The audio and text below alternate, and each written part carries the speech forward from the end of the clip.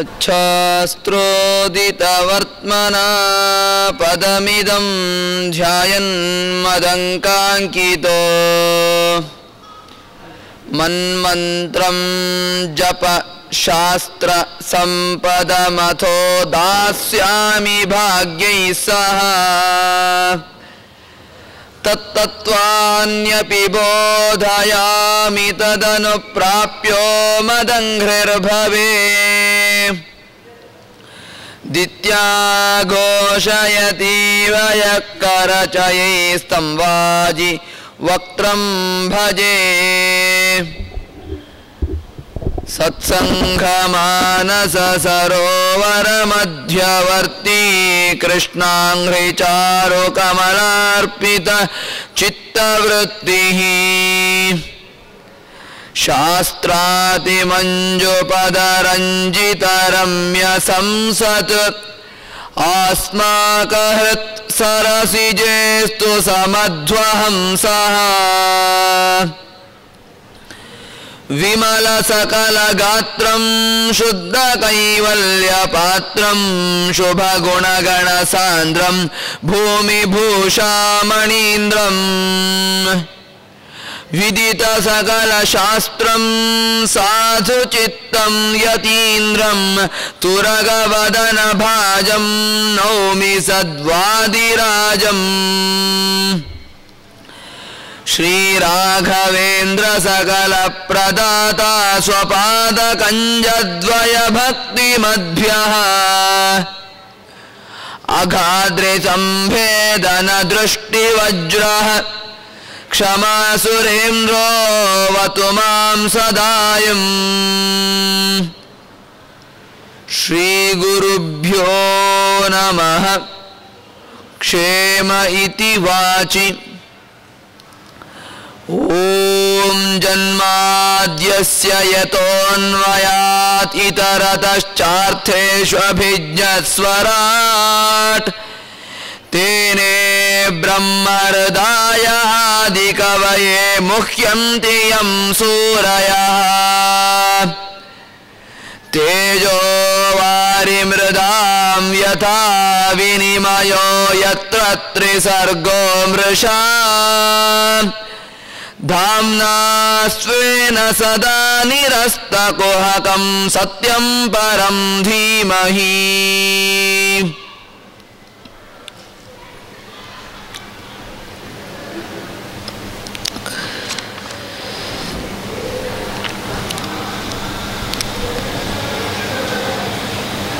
ವರ್ಣಾಶ್ರಮದ ಬಗ್ಗೆ ನಾರದರು ಯುಧಿಷ್ಠಿರನಿಗೆ ಉಪದೇಶವನ್ನು ನೀಡಿದ್ರು. ಹೇಗೆ ಹೇಗೆ ನಾವಿರಬೇಕು ಎಂಬುದಾಗಿ ಯುಧಿಷ್ಠಿರನ ಮೂಲಕ ನಮಗೆ ನಾರದರು ತೋರಿಸ್ತಾ ಇದ್ದಾರೆ. ಯುಧಿಷ್ಠಿರನಿಗೆ ಗೊತ್ತು ಹೇಗಿರಬೇಕಂತ ಸಾಕ್ಷಾತ್ ಯಮಧರ್ಮರಾಜನೇ ಯುಧಿಷ್ಠಿರನಾಗಿ ಬಂದದ್ದು. ಧರ್ಮ, ಧರ್ಮನಿಗೆ ಯಾವುದು ಧರ್ಮ, ಯಾವುದು ಅಧರ್ಮ ಎಂಬುದಾಗಿ ಗೊತ್ತಿಲ್ವಾ? ಯಮ ಅಂತ ಹೆಸರು ಯಾಕೆ ಅವನಿಗೆ? ನಮ್ಮನ್ನು ನಿಯಮಿಸುವವನು ಆದ್ರಿಂದ ಅವನನ್ನು ಯಮ ಅಂತ ಕರೆಯುವುದು. ಯಮಯತೀತಿ ಯಮ. ನಮ್ಮನ್ನು ನಿಯಮಿಸುವವನು. ವಿಷ್ಣು ಸಹಸ್ರ ಅಂದ್ರೆ ಯಮ ಅಂತ ಬರ್ತದೆ. ಯಮ ಹೇಳಿದ್ರೆ ನಿಯಮಿಸುವವನು. ಸಾಕ್ಷಾತ್ ಯಮ ಧರ್ಮರಾಜನೇ ಯುಧಿಷ್ಠಿರನಾಗಿ ಬಂದವನಿಗೆ ಧರ್ಮ ಯಾವುದು, ಅಧರ್ಮ ಯಾವುದು ಅಂತ ಗೊತ್ತಾಗಲ್ಲ. ಯಾವ ವರ್ಣಾಶ್ರಮದಲ್ಲಿ ಹೇಗಿರಬೇಕು, ಹೇಗಿರಬಾರ್ದು ಅಂತ ಅವನಿಗೆ ಗೊತ್ತಿಲ್ವಾ? ಅವನನ್ನು ಮಾಧ್ಯಮವನ್ನಾಗಿಟ್ಟುಕೊಂಡು ನಮಗೆಲ್ಲ ನಾರದರು ಉಪದೇಶ ನೀಡಿದ್ದು. ಅದರಿಂದ ವಿಷಯ ತ್ಯಾಗ ಮಾಡುವುದರಿಂದ ಕಾಮನೆಯನ್ನು ಗೆಲ್ಲಬಹುದು ಕ್ರೋಧವನ್ನು ದೂರ ಮಾಡುವುದರಿಂದ ಕಾಮವನ್ನು ಗೆಲ್ಲಬಹುದು ಕಾಮ ನಮ್ಮ ಕ್ರೋಧ, ಕಾಮ ಈಡೇರಲಿಲ್ಲದೆ ಕ್ರೋಧ ಬರ್ತದೆ ನಮಗೆ. ಕ್ರೋಧಾದ್ಭವತಿ ಸಮೋಹ ಸಮೋಹ ಸ್ಮೃತಿ ವಿಭ್ರಮ.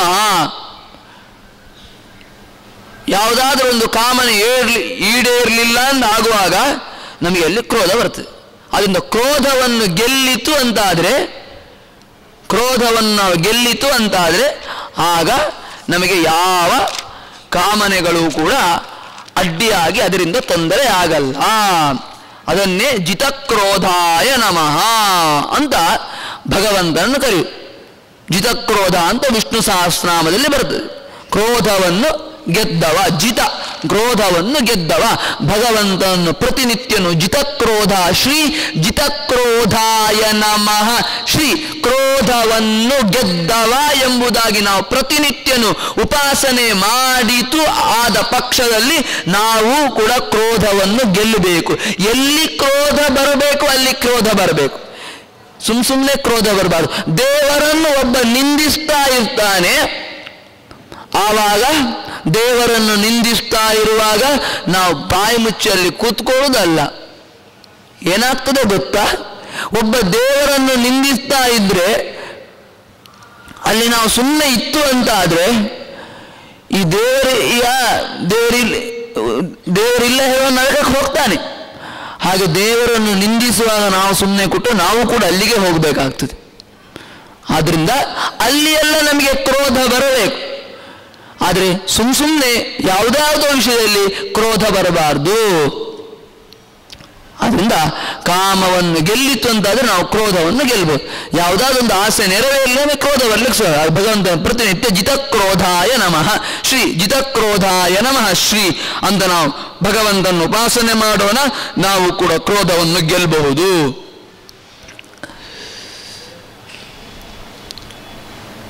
ಮುಂದೆ ಇಲ್ಲಿಗೆ ಏಳನೇ ಸ್ಕಂದವನ್ನು ಮುಗಿಸಿ ಎಂಟನೆಯ ಸ್ಕಂದಕ್ಕೆ ಕಾಲಿಡ್ತಾ ಇದ್ದಾರೆ. ಸುಮಾರು ವಿಷಯಗಳು ಇಲ್ಲಿ ಬರ್ತದೆ. ಅದರಲ್ಲಿ ಮುಖ್ಯವಾಗಿ ಬರುವಂಥದ್ದು ಕೂರ್ಮಾವತಾರ, ಚಾಕ್ಷುಷ ಮನ್ವಂತರದಲ್ಲಿ ನಡೆ- ನಡೆದಂತಹ ಏನು ಸಮುದ್ರ ಮಥನ ಇದೆ. ಈ ಸಮುದ್ರ ಮಥನದ ಬಗ್ಗೆ ವಿಶೇಷವಾಗಿ ಇಲ್ಲಿ ವಿವರಿಸ್ತಾರೆ.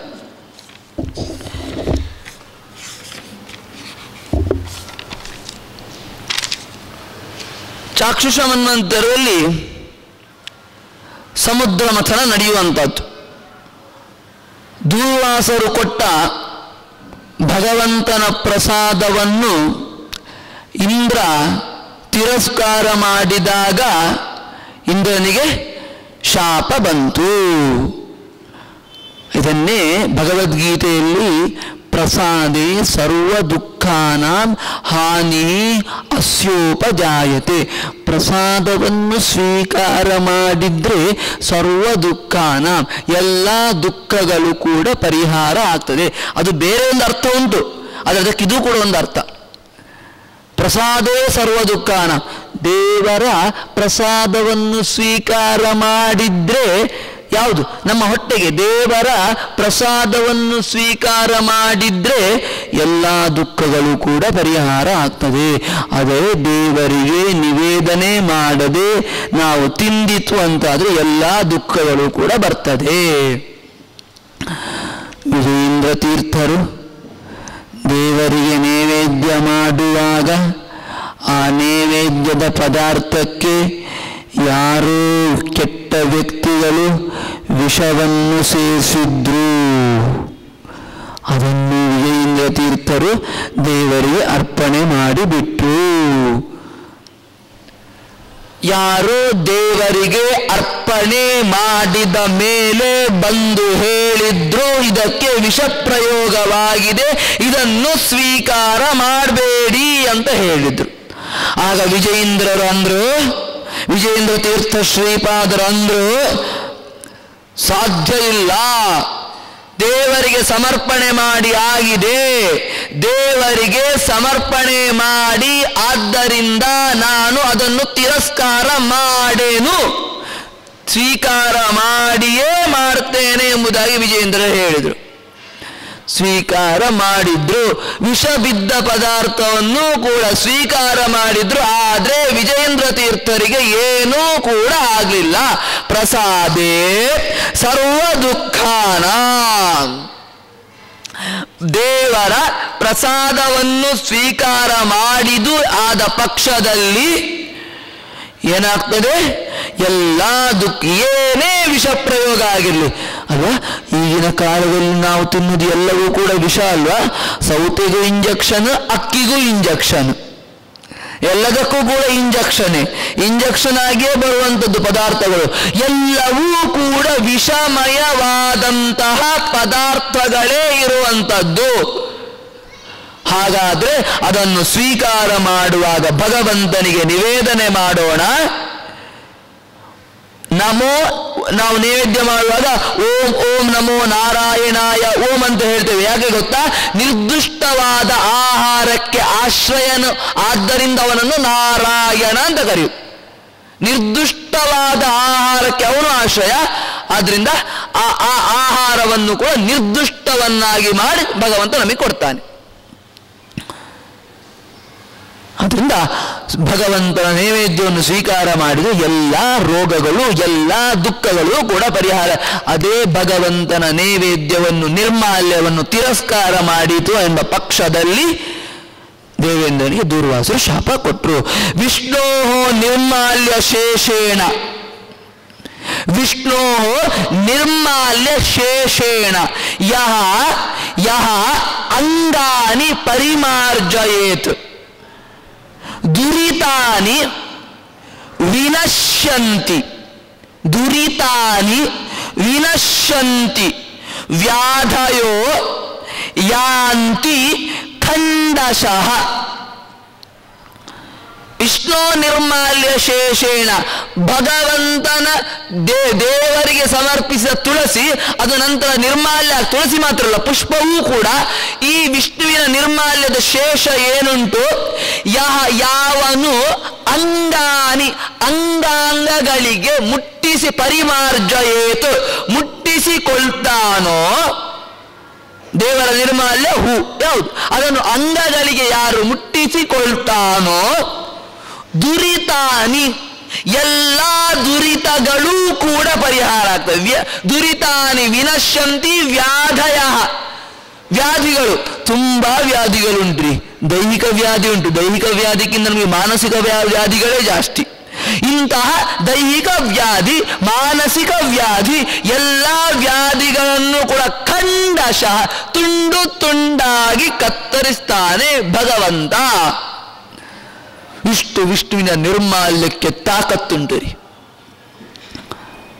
ವಿಷ್ಣುವಿನ ನಿರ್ಮಾಲ್ಯಕ್ಕೆ, ವಿಷ್ಣುವಿನ ಅಂಗಾರಕಕ್ಕೆ ಭಗವಂತನಿಗೆ ನಿವೇದಿನ ನಿವೇದಿನ ನಿವೇದಿತವಾದಂತಹ ಅಂಗಾರಕ ಅಕ್ಷತ ಗಂಧವನ್ನು ನಾವು ಸ್ವೀಕಾರ ಮಾಡಿತು ಅಂತಾದರೆ ಅವೆಲ್ಲ ವ್ಯಾಧಿಗಳನ್ನು ತುಂಡು ತುಂಡಾಗಿ ಕತ್ತರಿಸಿ ಹಾಕ್ತಾವೆ. ಅದನ್ನು ಎಂದಿಗೂ ಕೂಡ ತುಳಿಬಾರದು. ದೇವರ ನಿರ್ಮಾಲ್ಯ ನೆಲಕ್ಕೆ ಬಿದ್ದಿದ್ರೆ ಬಿದ್ದೆ ಬೀಳಿ ಅಂತ ನೋಡಿಯೂ ನೋಡದೆ ಹೋಗಬಾರದು. ಅದನ್ನು ಎತ್ತಿ ಆಚೆ ಕಡೆ ಇಡಬೇಕು. ಯಾರೂ ತುಳಿಯದಂತಹ ಜಾಗದಲ್ಲಿ ಇಡಬೇಕು. ಏನು ಮಾಡಿದ? ಕೊಟ್ಟದ್ದನ್ನು ಆನೆಗೆ ಹಾಕಿದ, ಆನೆ ಕೆಳಗೆ ಹಾಕಿದ್ದು ತುಳಿಯಿತು, ನಿರ್ಮಾಲ್ಯಕ್ಕೆ ಅವಮಾನ ಮಾಡಿದ. ದುರ್ವಾಸರಿಗೆ ಸಿಟ್ಟು ಬಂತು, ಶಾಪ ಕೊಟ್ಟು ಅದರಿಂದ ಇದರ ಏನಾಯಿತು ಕರೆಗೆ ಎಲ್ಲವೂ ಕೂಡ ದೇವತೆಗಳಿಗೆ ದಾರಿದ್ರ್ಯವೇ ಒಂದು ದುಃಖ ಪರಿಹಾರ. ಆದರೆ ದೇವರ ಪ್ರಸಾದವನ್ನು ತಿರಸ್ಕಾರ ಮಾಡಿ ದುಃಖ ಬರ್ತದೆ. ಅನ್ನವನ್ನು ಬಿಡುವುದು, ಇದೆಲ್ಲ ಮಾಡಲಿಕ್ಕೆ ಇದು ದೇವರ ತಿರಸ್ಕಾರ ಅಲ್ವಾ? ಅದು ಎಲ್ಲಿ ಎಲ್ಲಿ ಚೆಲ್ ಚೆಲ್ಲಬೇಕಾಗ್ತದಲ್ಲ ಮತ್ತೆ? ಎಷ್ಟು ಬೇಕು ಅಷ್ಟೇ ಹಾಕೊಳ್ಳೋಣ. ಎಷ್ಟೋ ಜನಕ್ಕೆ ಗತಿ ಇಲ್ಲ ತಿನ್ನಲಿಕ್ಕೆ ಅವ್ರಿಗೆ ಕೊಡೋಣ, ನಮಗೆ ಬೇಡ ಇದ್ದರೆ ಅವ್ರಿಗೆ ಕೊಡೋಣ. ಎಷ್ಟು ಬೇಕು ಅಷ್ಟೇ ಎಲೆಗೆ ಹಾಕೊಳ್ಳೋಣ. ಸರಿ ಕಟ್ಟು ಹಾಕೊಂಡು ಅದನ್ನೆಲ್ಲ ಬಿಡುವುದು ಬೇಡ.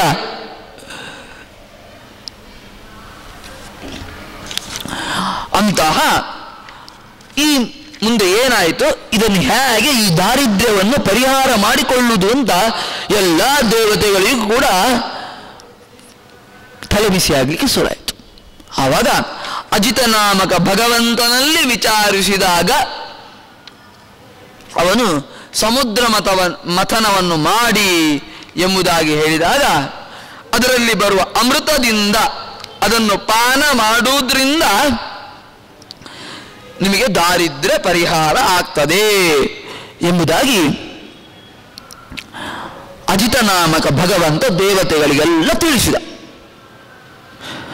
ಸಮುದ್ರ ಮತನ ಒಬ್ಬರೇ ಮಾಡಲಿಕ್ಕಾಗಲ್ಲ.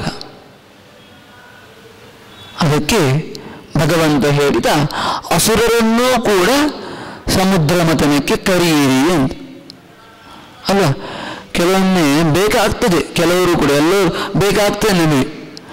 ನಾವು ಒಬ್ಬರೇ ಮಾಡ್ತೇವೆ ಅಂತ ಆಗಲ್ಲ, ಅವರೂ ಕೂಡ ಬೇಕಾಗ್ತದೆ. ಅಲ್ವಾ? ಇಲ್ಲವರು ನಡೀತದೆ, ಕೆಲಸ ನಡೀತದೆ, ಇಲ್ಲ.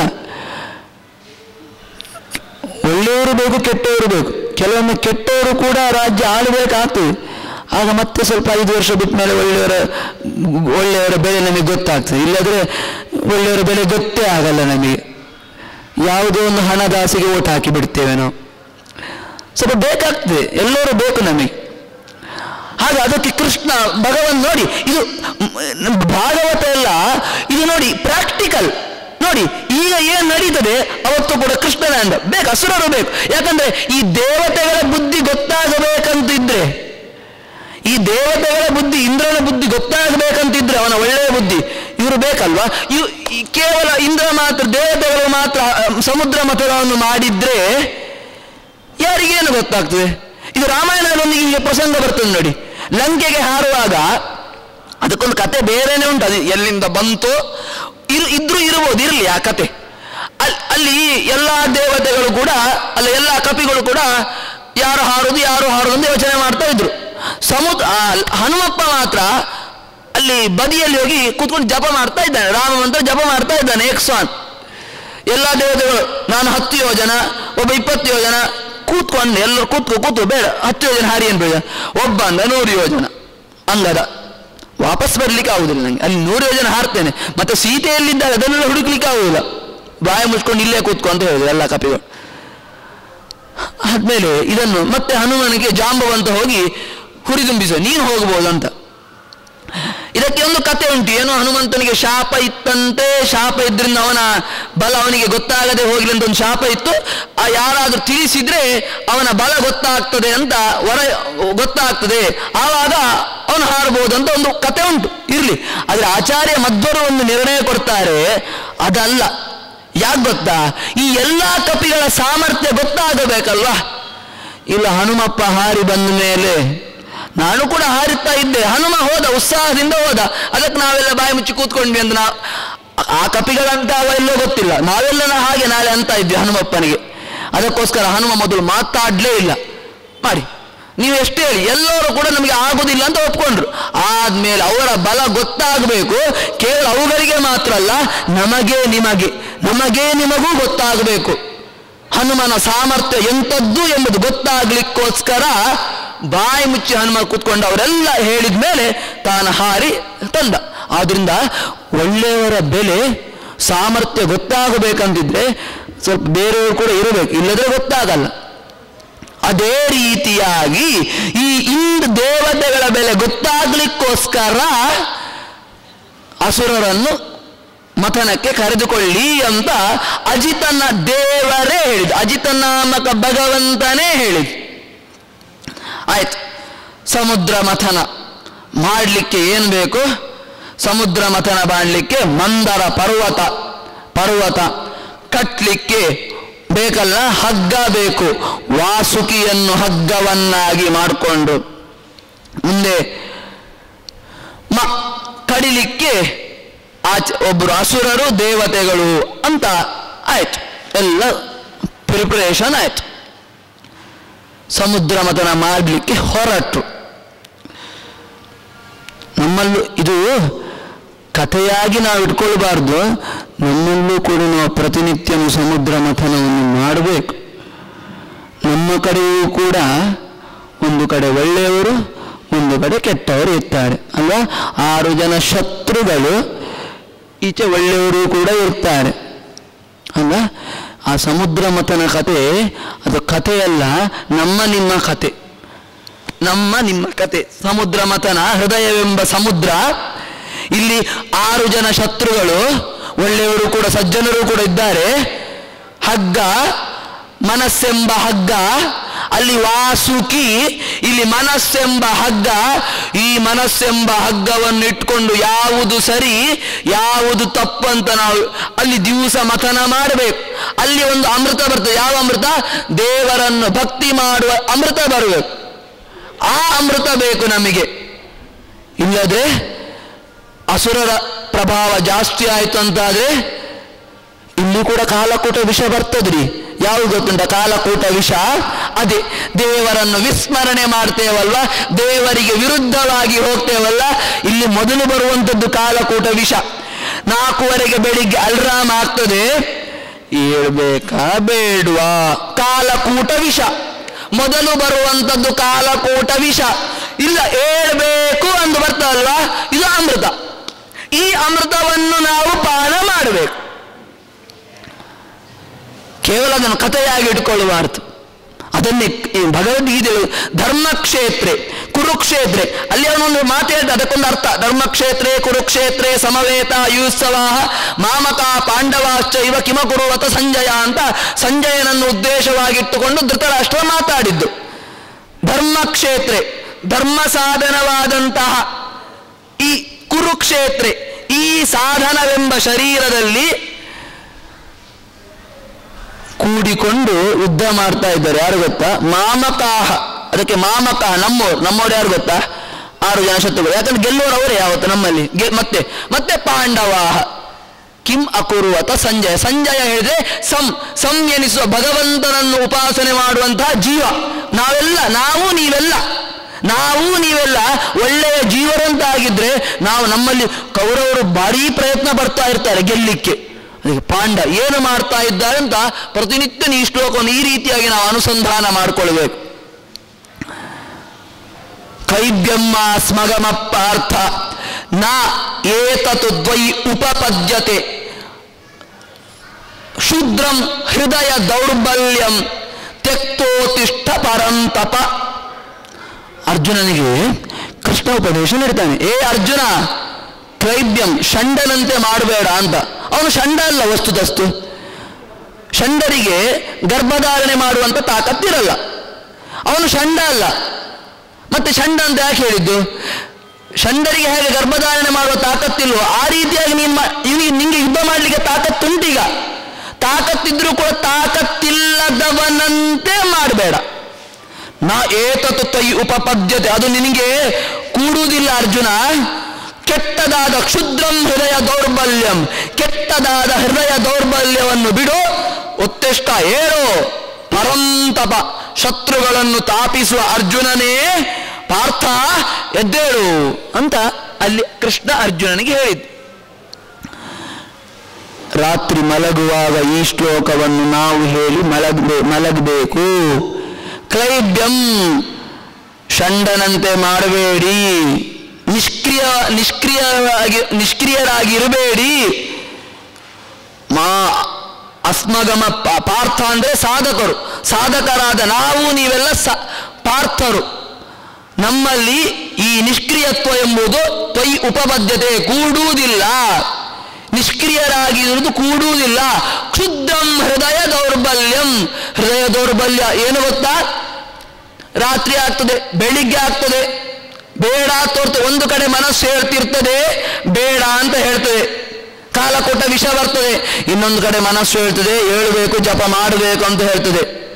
ಹಾಗಾದ್ರೆ ಕ್ಷುದ್ರಂ ಹೃದಯ ದೌರ್ಬಲ್ಯಂ, ಈ ಕೆಟ್ಟದಾದ ಏಳ್ಬಾರ್ದು ಎಂಬ ಹೃದಯ ದೌರ್ಬಲ್ಯ ಏನುಂಟು? ಪ್ರವಚನಕ್ಕೆ ಹೋಗಬೇಕು ಒಂದು ಕಡೆಗೆ, ಇನ್ನೊಂದು ಕಡೆ ಪ್ರವಚನಕ್ಕೆ ಹೋಗಬೇಡ ಬೇಡ ಇಲ್ಲೇ ಇರುವ ಅಂತ. ಈ ರೀತಿಯಾದ ನಮಗೆಲ್ಲ ಹೃದಯ ದೌರ್ಬಲ್ಯ, ದೌರ್ಬಲ್ಯಗಳು ಬರ್ತದಲ್ಲ ಈ ಹೃದಯ ದೌರ್ಬಲ್ಯವನ್ನು, ಕ್ಷುದ್ರಂ, ಕೆಟ್ಟದಾದ ಹೃದಯ ದೌರ್ಬಲ್ಯವನ್ನು ಬಿಟ್ಟು ಉತ್ತಿಷ್ಠ, ನಾವೆಲ್ಲ ನಾವು, ನೀವು ಎದ್ದೇಳಬೇಕು. ಈ ರೀತಿಯಾಗಿ ನಮ್ಮ ಪರವಾಗಿ ಅದಕ್ಕೆ ಅರ್ಥ ಮಾಡ್ಬೋದು. ಭಗವದ್ಗೀತೆ ನಮ್ಮ ಪರವ ನಮ್ಮ ಪರವಾಗಿ ಅರ್ಥ ಮಾಡ್ಬೋದು ಅಂತ ಆಚಾರ್ಯ ಮಧ್ವರು ಹೇಳಿದ್ದಾರೆ. ಅದು ನಮಗೋಸ್ಕರ ಬಂದದ್ದು. ನಮ್ಮನ್ನೆಲ್ಲ ಉದ್ದೇಶವಾಗಿಟ್ಟುಕೊಂಡದ್ದು ಬಂದದ್ದು.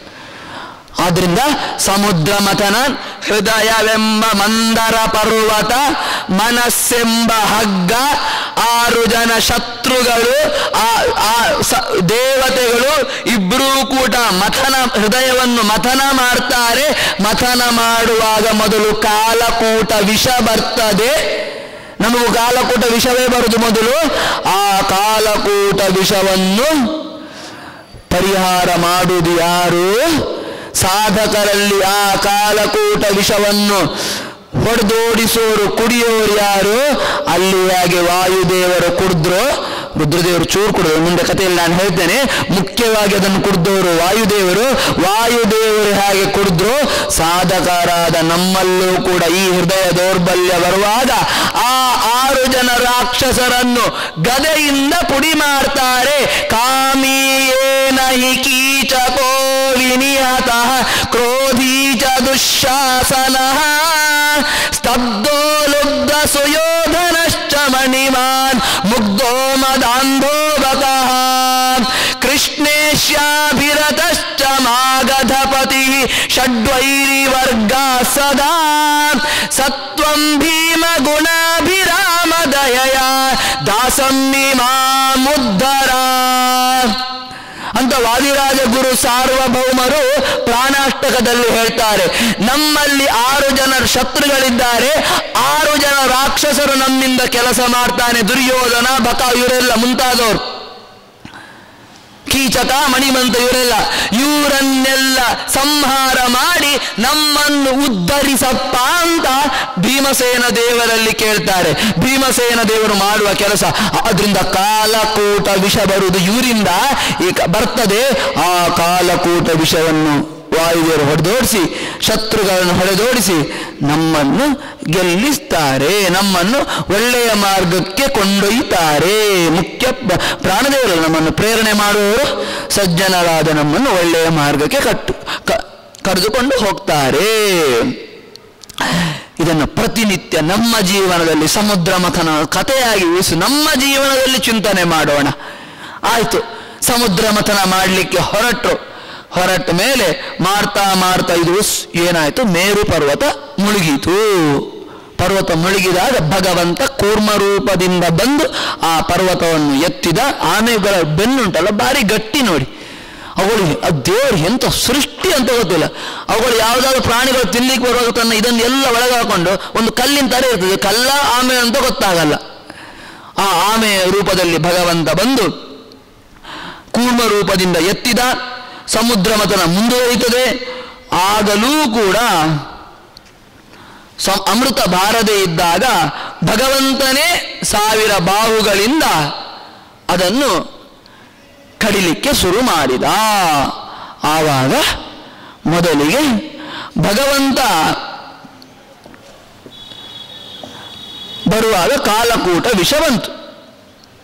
ಕಾಲಕೂಟ ವಿಷ ಬಂತು. ಆವಾಗ ರುದ್ರದೇ, ಭಗವಂತ ಅದನಿಗೆ, ತನಗೆ ಅದನ್ನು ಇದು ಮಾಡುವಂತಹ ಸಾಮರ್ಥ್ಯ ಉಂಟು. ಪರಿ ಕುಡ್ದು ಪರಿಹಾರ ಮಾಡುವಂತ ಸಾಮರ್ಥ್ಯ ಉಂಟು. ಆದರೂ ಮಾಡಲಿಲ್ಲ. ಯಾಕೆ ಎಂಬುದನ್ನು ಆಚಾರ್ಯ ಮಧ್ವರು ನಿರ್ಣಯ ಕೊಡ್ತಾರೆ. ರುದ್ರಸ್ಯ, ಯಶಸೋರ್ಥಾಯ, ಸ್ವಯಂ ವಿಷ್ಣುರ್ ವಿಷಂ ಪ್ರಭು ನ ಸಂಜಹ್ರೆ ಸಮರ್ಥೋಪಿ ವಾಯುಂ ಚೋಚೆ ಪ್ರಶಾಂತಯೇ. ತನಗೆ ಆ ವಿಷವನ್ನು ಪರಿಹಾರ ಮಾಡುವಂತಹ ಸಾಮರ್ಥ್ಯ ಇದ್ರೂ ಕೂಡ ರುದ್ರನಿಗೆ ಯಶಸ್ಸು ಬರಲಿ ಎಂಬುದಾಗಿ ರುದ್ರನ ಮೂಲಕ ಸ್ವಲ್ಪ ಸ್ವಲ್ಪ ಅದನ್ನು ತಿಕ್ಕಿ ತಿಕ್ಕಿ ಕೊಟ್ಟರು. ಅದನ್ನು ಕೂಡ ಕುದ್ರೆ ಅವನಿಗೆ ಪರಿಹಾರ ಮಾಡುವ. ಮತ್ತೆ ಪುನಃ ಹಾವನ್ ತರಬೇಕಾಯ್ತು, ಚಂದ್ರನನ್ನು ತರಬೇಕಾಯ್ತು, ಎಲ್ಲ ತರಬೇಕಾಯ್ತು. ಅಷ್ಟು ಯಾಕಂದ್ರೆ ಕಲಿ, ಕಲಿಯನ್ನು ನಿಗ್ರಹ ಮಾಡುವ, ಕಲಿಯನ್ನು ನಿಗ್ರಹ ಮಾಡುವಂತ ತಾಕತ್ತು ಯಾರಿಗೂ ಕೂಡ ಇಲ್ಲ ರೀ. ಆಗಲಿಲ್ಲ. ಆಗ ವಾಯುದೇವರಲ್ಲಿ ಹೇಳಿ, ಆ ಸಾಮರ್ಥ್ಯವನ್ನು ಸ್ವಲ್ಪ ಕಡಿಮೆ ಮಾಡಿಸಿ, ಸ್ವಲ್ಪ ಅವನಿಗೆ ಕೊಡ್ತು. ಒಂದು ಯಶಸ್ಸು ಬರಲಿ ಅಂತ. ಮತ್ತೆ ಉಳಿದ ಭಾಗವನ್ನೆಲ್ಲ ನಮ್ಮ ವಾಯುದೇವರೇ ಅದನ್ನು ಸ್ವೀಕಾರ ಮಾಡಿದ್ರು ಎಂಬುದಾಗಿ ಋಗ್ವೇದದ ಕೇಶಿ ಸೂಕ್ತದಲ್ಲಿ ತಿಳಿಸ್ತಾರೆ. ಋಗ್ವೇದ ಕೇಶಿ ಸೂಕ್ತದಲ್ಲಿ ಹೇಳ್ತಾರೆ. ಮುಖ್ಯವಾಗಿ ವಿಷವನ್ನು ಪಾನ ಮಾಡಿದವ ವಾಯುದೇವರು ಎಂಬುದಾಗಿ ತಿಳಿಸ್ತಾರೆ. ಪಾನ ಮಾಡಿ ಪಾನ ಮಾಡಿದ್ರು. ಮತ್ತೆ ಸಮುದ್ರ ಮತನ ಮುಂದುವರಿಯಿತು. ಮತ್ತೆ ಪುನಃ ಸಮುದ್ರ ಮತನ ಮುಂದುವರಿಯಿತು. ವಸ್ತುತಸ್ತು ನಮಗೊಂದು ಪ್ರಶ್ನೆ ಬರ್ಬೋದು ಯಾಕೆ ಇದೆಲ್ಲ ಯಾಕೆ? ಇಷ್ಟೆಲ್ಲ ಬೇಕಾ? ಸಾವಿರ ರೂಪದಿಂದ ಭಗವಂತನೇ ಮಾಡುವುದಂತಾದ್ರೆ ಪುನಃ ದೇವತೆಗಳೆಲ್ಲ ಯಾಕೆ? ಅವನಿಗೆ ಮೊದಲೇ ಮಾಡ್ಬೋದಿತ್ತಲ್ವಾ ಸಮರ್ಥ ಅಲ್ವವ? ಯಾಕೆ ಮಾಡ್ತಾನೆ? ಅದಕ್ಕೊಂದು ನಿರ್ಣಯ ಕೊಡ್ತಾರೆ. ಯಥೇಚ್ಛ ದೈವ ಸರ್ವಂತು, ಮನಸ, ದೇಹತೋಪಿವ, ಕರ್ತುಂ ಶಕ್ತ ಅಸಿ. ಕರ್ತುಂ ಶಕ್ತ ಅಸಿ. ಚ ಅಸ್ತ್ರಾದ್ಯ ಲೀಲ, ಲೀಲಯ ಅನಂತ ಶಕ್ತಿನಃ. ಯಥೇಚ್ಛ ಇವ. ತನ್ನ ಇಚ್ಛೆಗೆ ಅನುಗುಣವಾಗಿಯೇ ಯಾರು? ತನ್ನ, ಭಗವಂತ ತನ್ನ ಇಚ್ಛೆಗೆ ಅನುಗುಣವಾಗಿಯೇ ಮನಸ್ಸಿನಿಂದ, ದೇ, ಮನಸ್ಸಿನಿಂದ ಅಥವಾ ದೇಹದಿಂದ ಮಾಡಲಿಕ್ಕೆ ಸಮರ್ಥರಾಗಿದ್ರೂ ಕೂಡ ಅಲ್ಲಿ ಕೂತ್ಕೊಂಡೇ ಅಮೃತವನ್ನು ತರಿಸ್ಬೋದು. ಹೀಗೆ ಮಾಡಲಿಕ್ಕೆ ಸಮರ್ಥನಾಗಿದ್ದೂ ಕೂಡ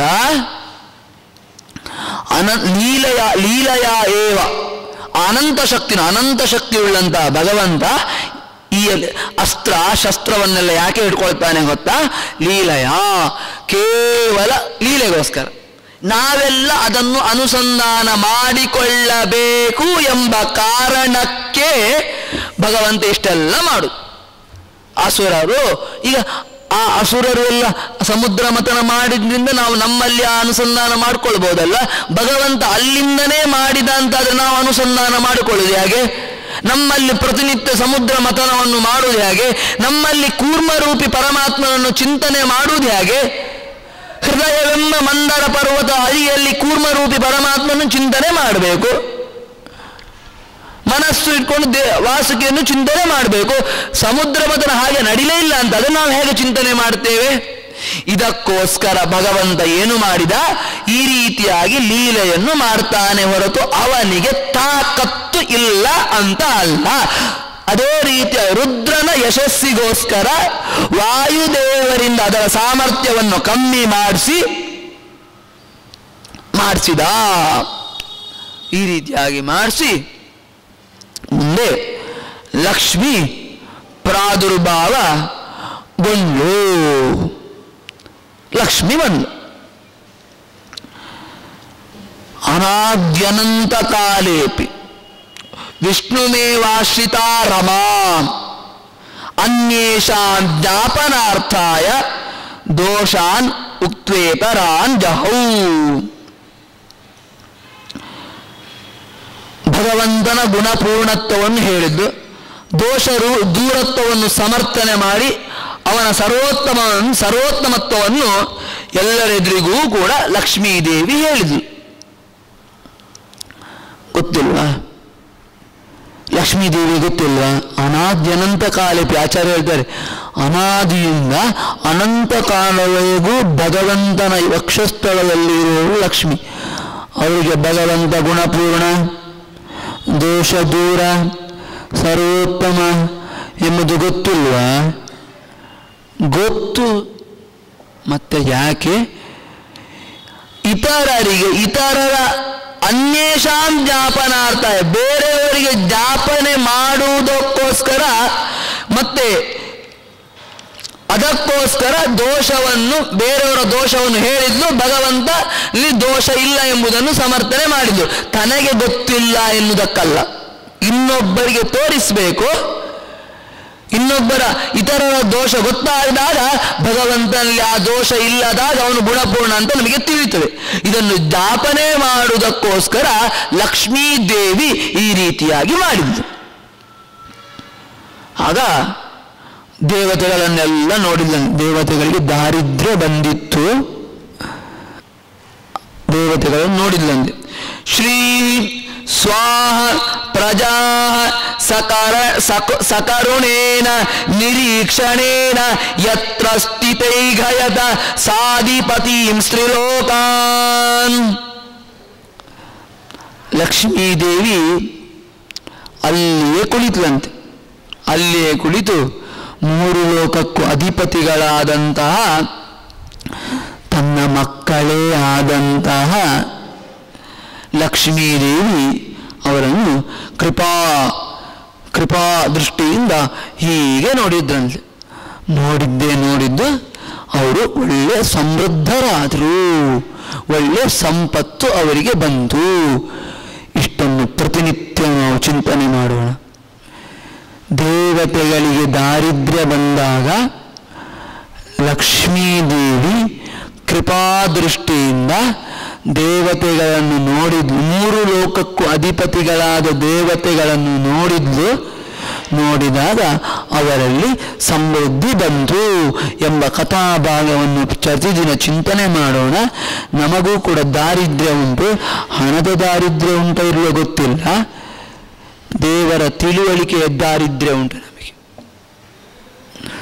ಅಲ್ಲ ಸಮುದ್ರ ಮತನ ಯಾಕೆ ಮಾಡಿದ್ದು? ಅವ್ರದ್ದೆಲ್ಲ ಸಂಪತ್ತು ಹೋಗಿದೆ ಅಂತ ಸಮುದ್ರ ದಾರಿದ್ರ್ಯ ಬಂದದ್ದಕ್ಕೆ ಸಮುದ್ರ ಮತನ ಮಾಡಿದ್ದಲ್ವಾ? ನಮಗೂ ಕೂಡ ದಾರಿದ್ರ್ಯ ಉಂಟ್ರಿ. ಹಣ ಇರ್ಬೋದು. ಬ್ಯಾಂಕಲ್ಲಿ ಎಂಟು ಕೋಟಿ, ಮನೆಯಲ್ಲಿ ಎಂಟು ಕೋಟಿ ಇರ್ಬೋದು. ಏನು ಪ್ರಯೋಜನ? ನಿನ್ನೆ ಹೇಳಿದಂಗೆ ಹಣದ ಪ್ರಾಬ್ಲಮ್ ಅನ್ನು ನೋಡಿದ್ರೆ ಹಣ ಎಷ್ಟಿದ್ರು ಅಷ್ಟಿದ್ರು ಸಾಕಂದ್ರೆ ನಿನ್ನೆ ಯಮ, ಯಮನಿಗೆ ಯುದ್ಧ ನಾರದರು, ಯುಧಿಷ್ಠಿರನಿಗೆ ನಾರದರು ಉಪದೇಶ ಮಾಡಿದ್ರಲ್ವ ಹಾಗೆ. ಅದು ನಮ್ಮಲ್ಲೂ ಕೂಡ ದಾರಿದ್ರ್ಯ ಉಂಟು. ಯಾವ ದಾರಿದ್ರ್ಯ? ದೇವರ ವಿಷಯದ ದಾರಿದ್ರ್ಯ ಉಂಟು. ಅಲ್ಲ, ಎಷ್ಟು ಚಿಂತನೆ ಮಾಡ್ಬೋದು ಸಮುದ್ರ ಮತನದಿಂದ? ನಮ್ಮಲ್ಲಿ ನಾವು ಎಷ್ಟು ಚಿಂತನೆ ಮಾಡ್ಬೋದು? ನಾವು ನೀವು ಅದನ್ನು ಪ್ರತಿನಿತ್ಯ ಚಿಂತನೆ ಮಾಡ್ಬೋದಲ್ವ?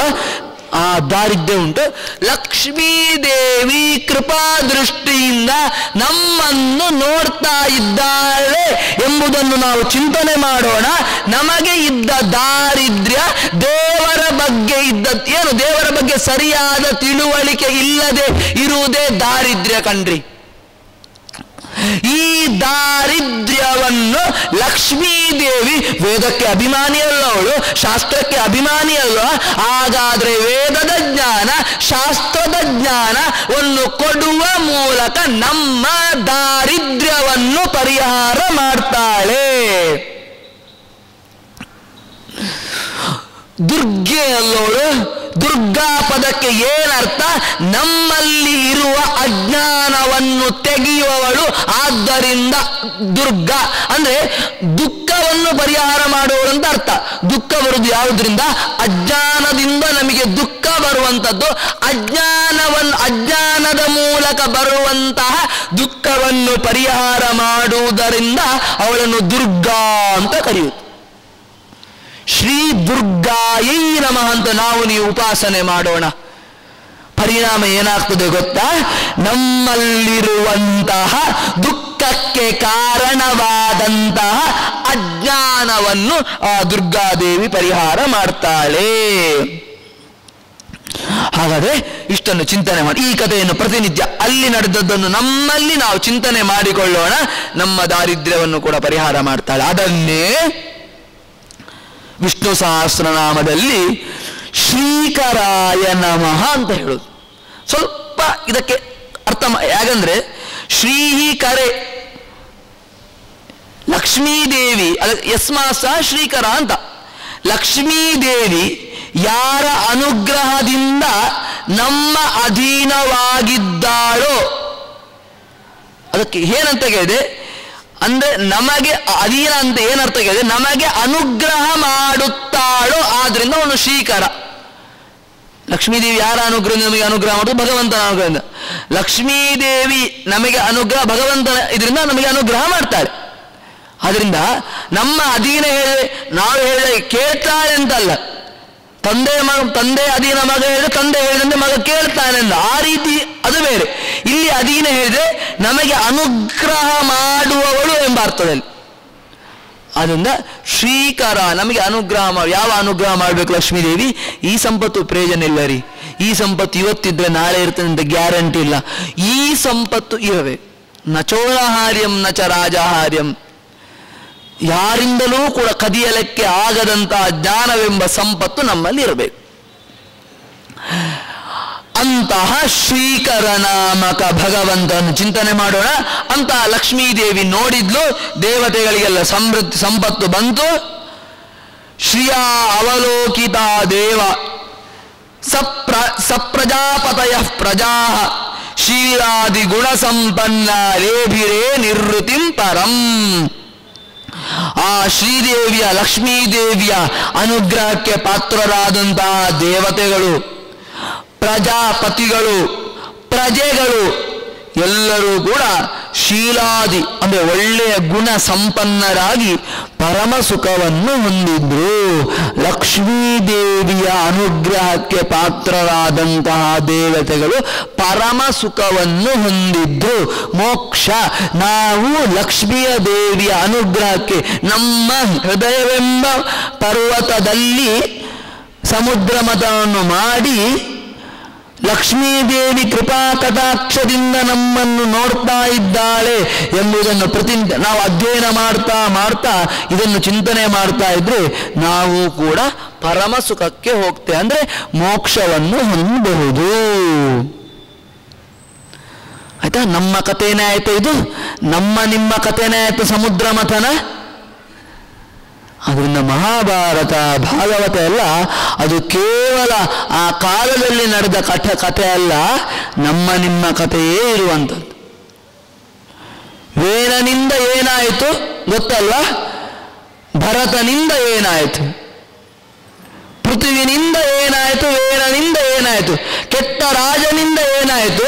ಒಳ್ಳೆಯ ರಾಜನಿಂದ ಏನಾಯಿತು? ಇದೆಲ್ಲ ನಾವು ಭಾಗವತದಲ್ಲಿ ಕೇಳ್ತೇವೆ. ಅದೇ ನಡೀತಾ ಇರುವಂತ ಇವತ್ತಿಗೂ ಕೂಡ. ಒಳ್ಳೆಯ ರಾಜರಿದ್ರೆ ಏನಾಗ್ತದೆ, ಕೆಟ್ಟ ರಾಜರಿದ್ರೆ ಏನಾಗ್ತದೆ? ಎಲ್ಲವೂ ಕೂಡ ಅಂದು ನಡೆದದ್ದೇ ಇವತ್ತು ನಡೆಯುತ್ತೆ. ನಾವು ಅದನ್ನು ಕಥೆಯನ್ನು ಕಥೆಯಾಗಿ ಮಾತ್ರ ಸ್ವೀಕಾರ ಮಾಡ್ತೇವೆ.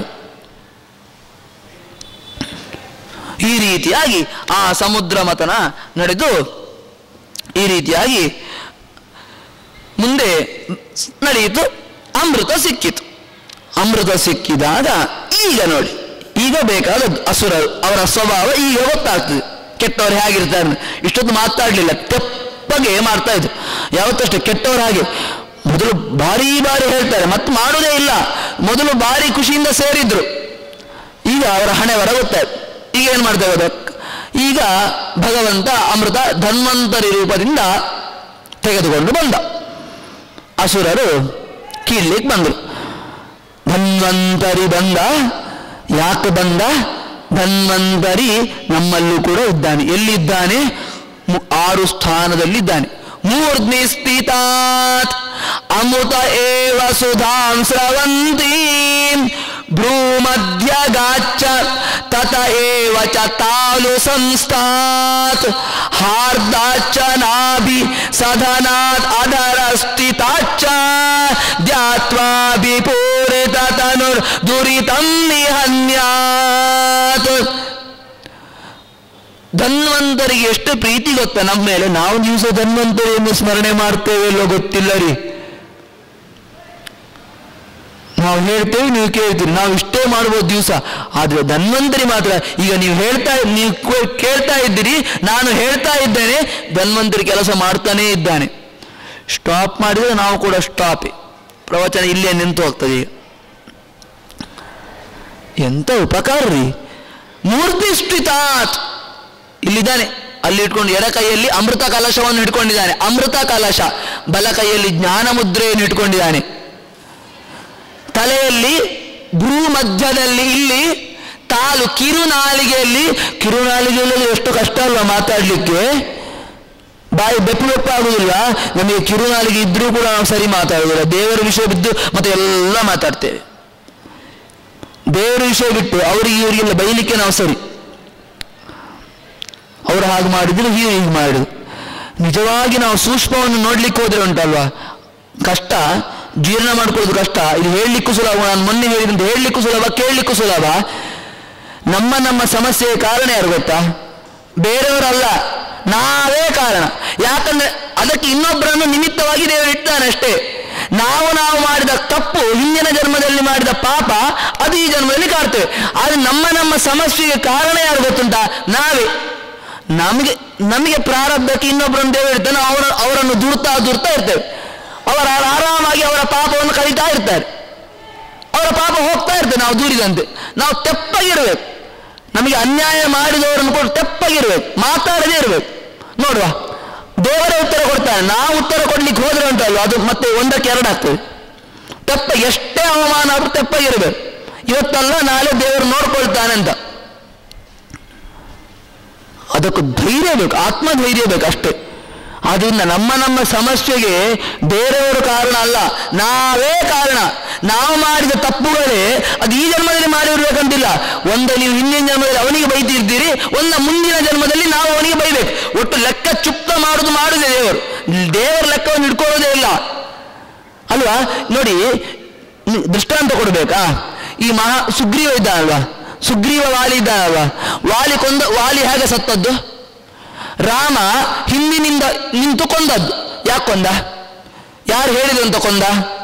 ಸುಗ್ರೀವ ಹೇಳಿದ ಅಂತ, ನೀನು ಹಾಕಿ ಕೊಲ್ಲುವವನನ್ನು ಕೊಲ್ಲು ಕೊಲ್ಲು ಅಂತ ಹೇಳಿದ.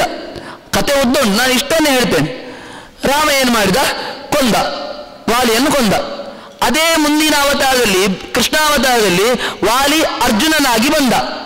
ಸುಗ್ರೀವ ಕರ್ಣನಾಗಿ ಬಂದ. ಕರ್ಣನ ರಥ ಯುದ್ಧ ಮಾಡುವಾಗ ಹುಗ್ದೋಯ್ತು. ಯುದ್ಧದ ನಿಯಮ ಪ್ರಕಾರ ಏನು? ರಥದಲ್ಲಿ ಇರುವಾಗ ಯುದ್ಧ ಮಾಡಬೇಕು.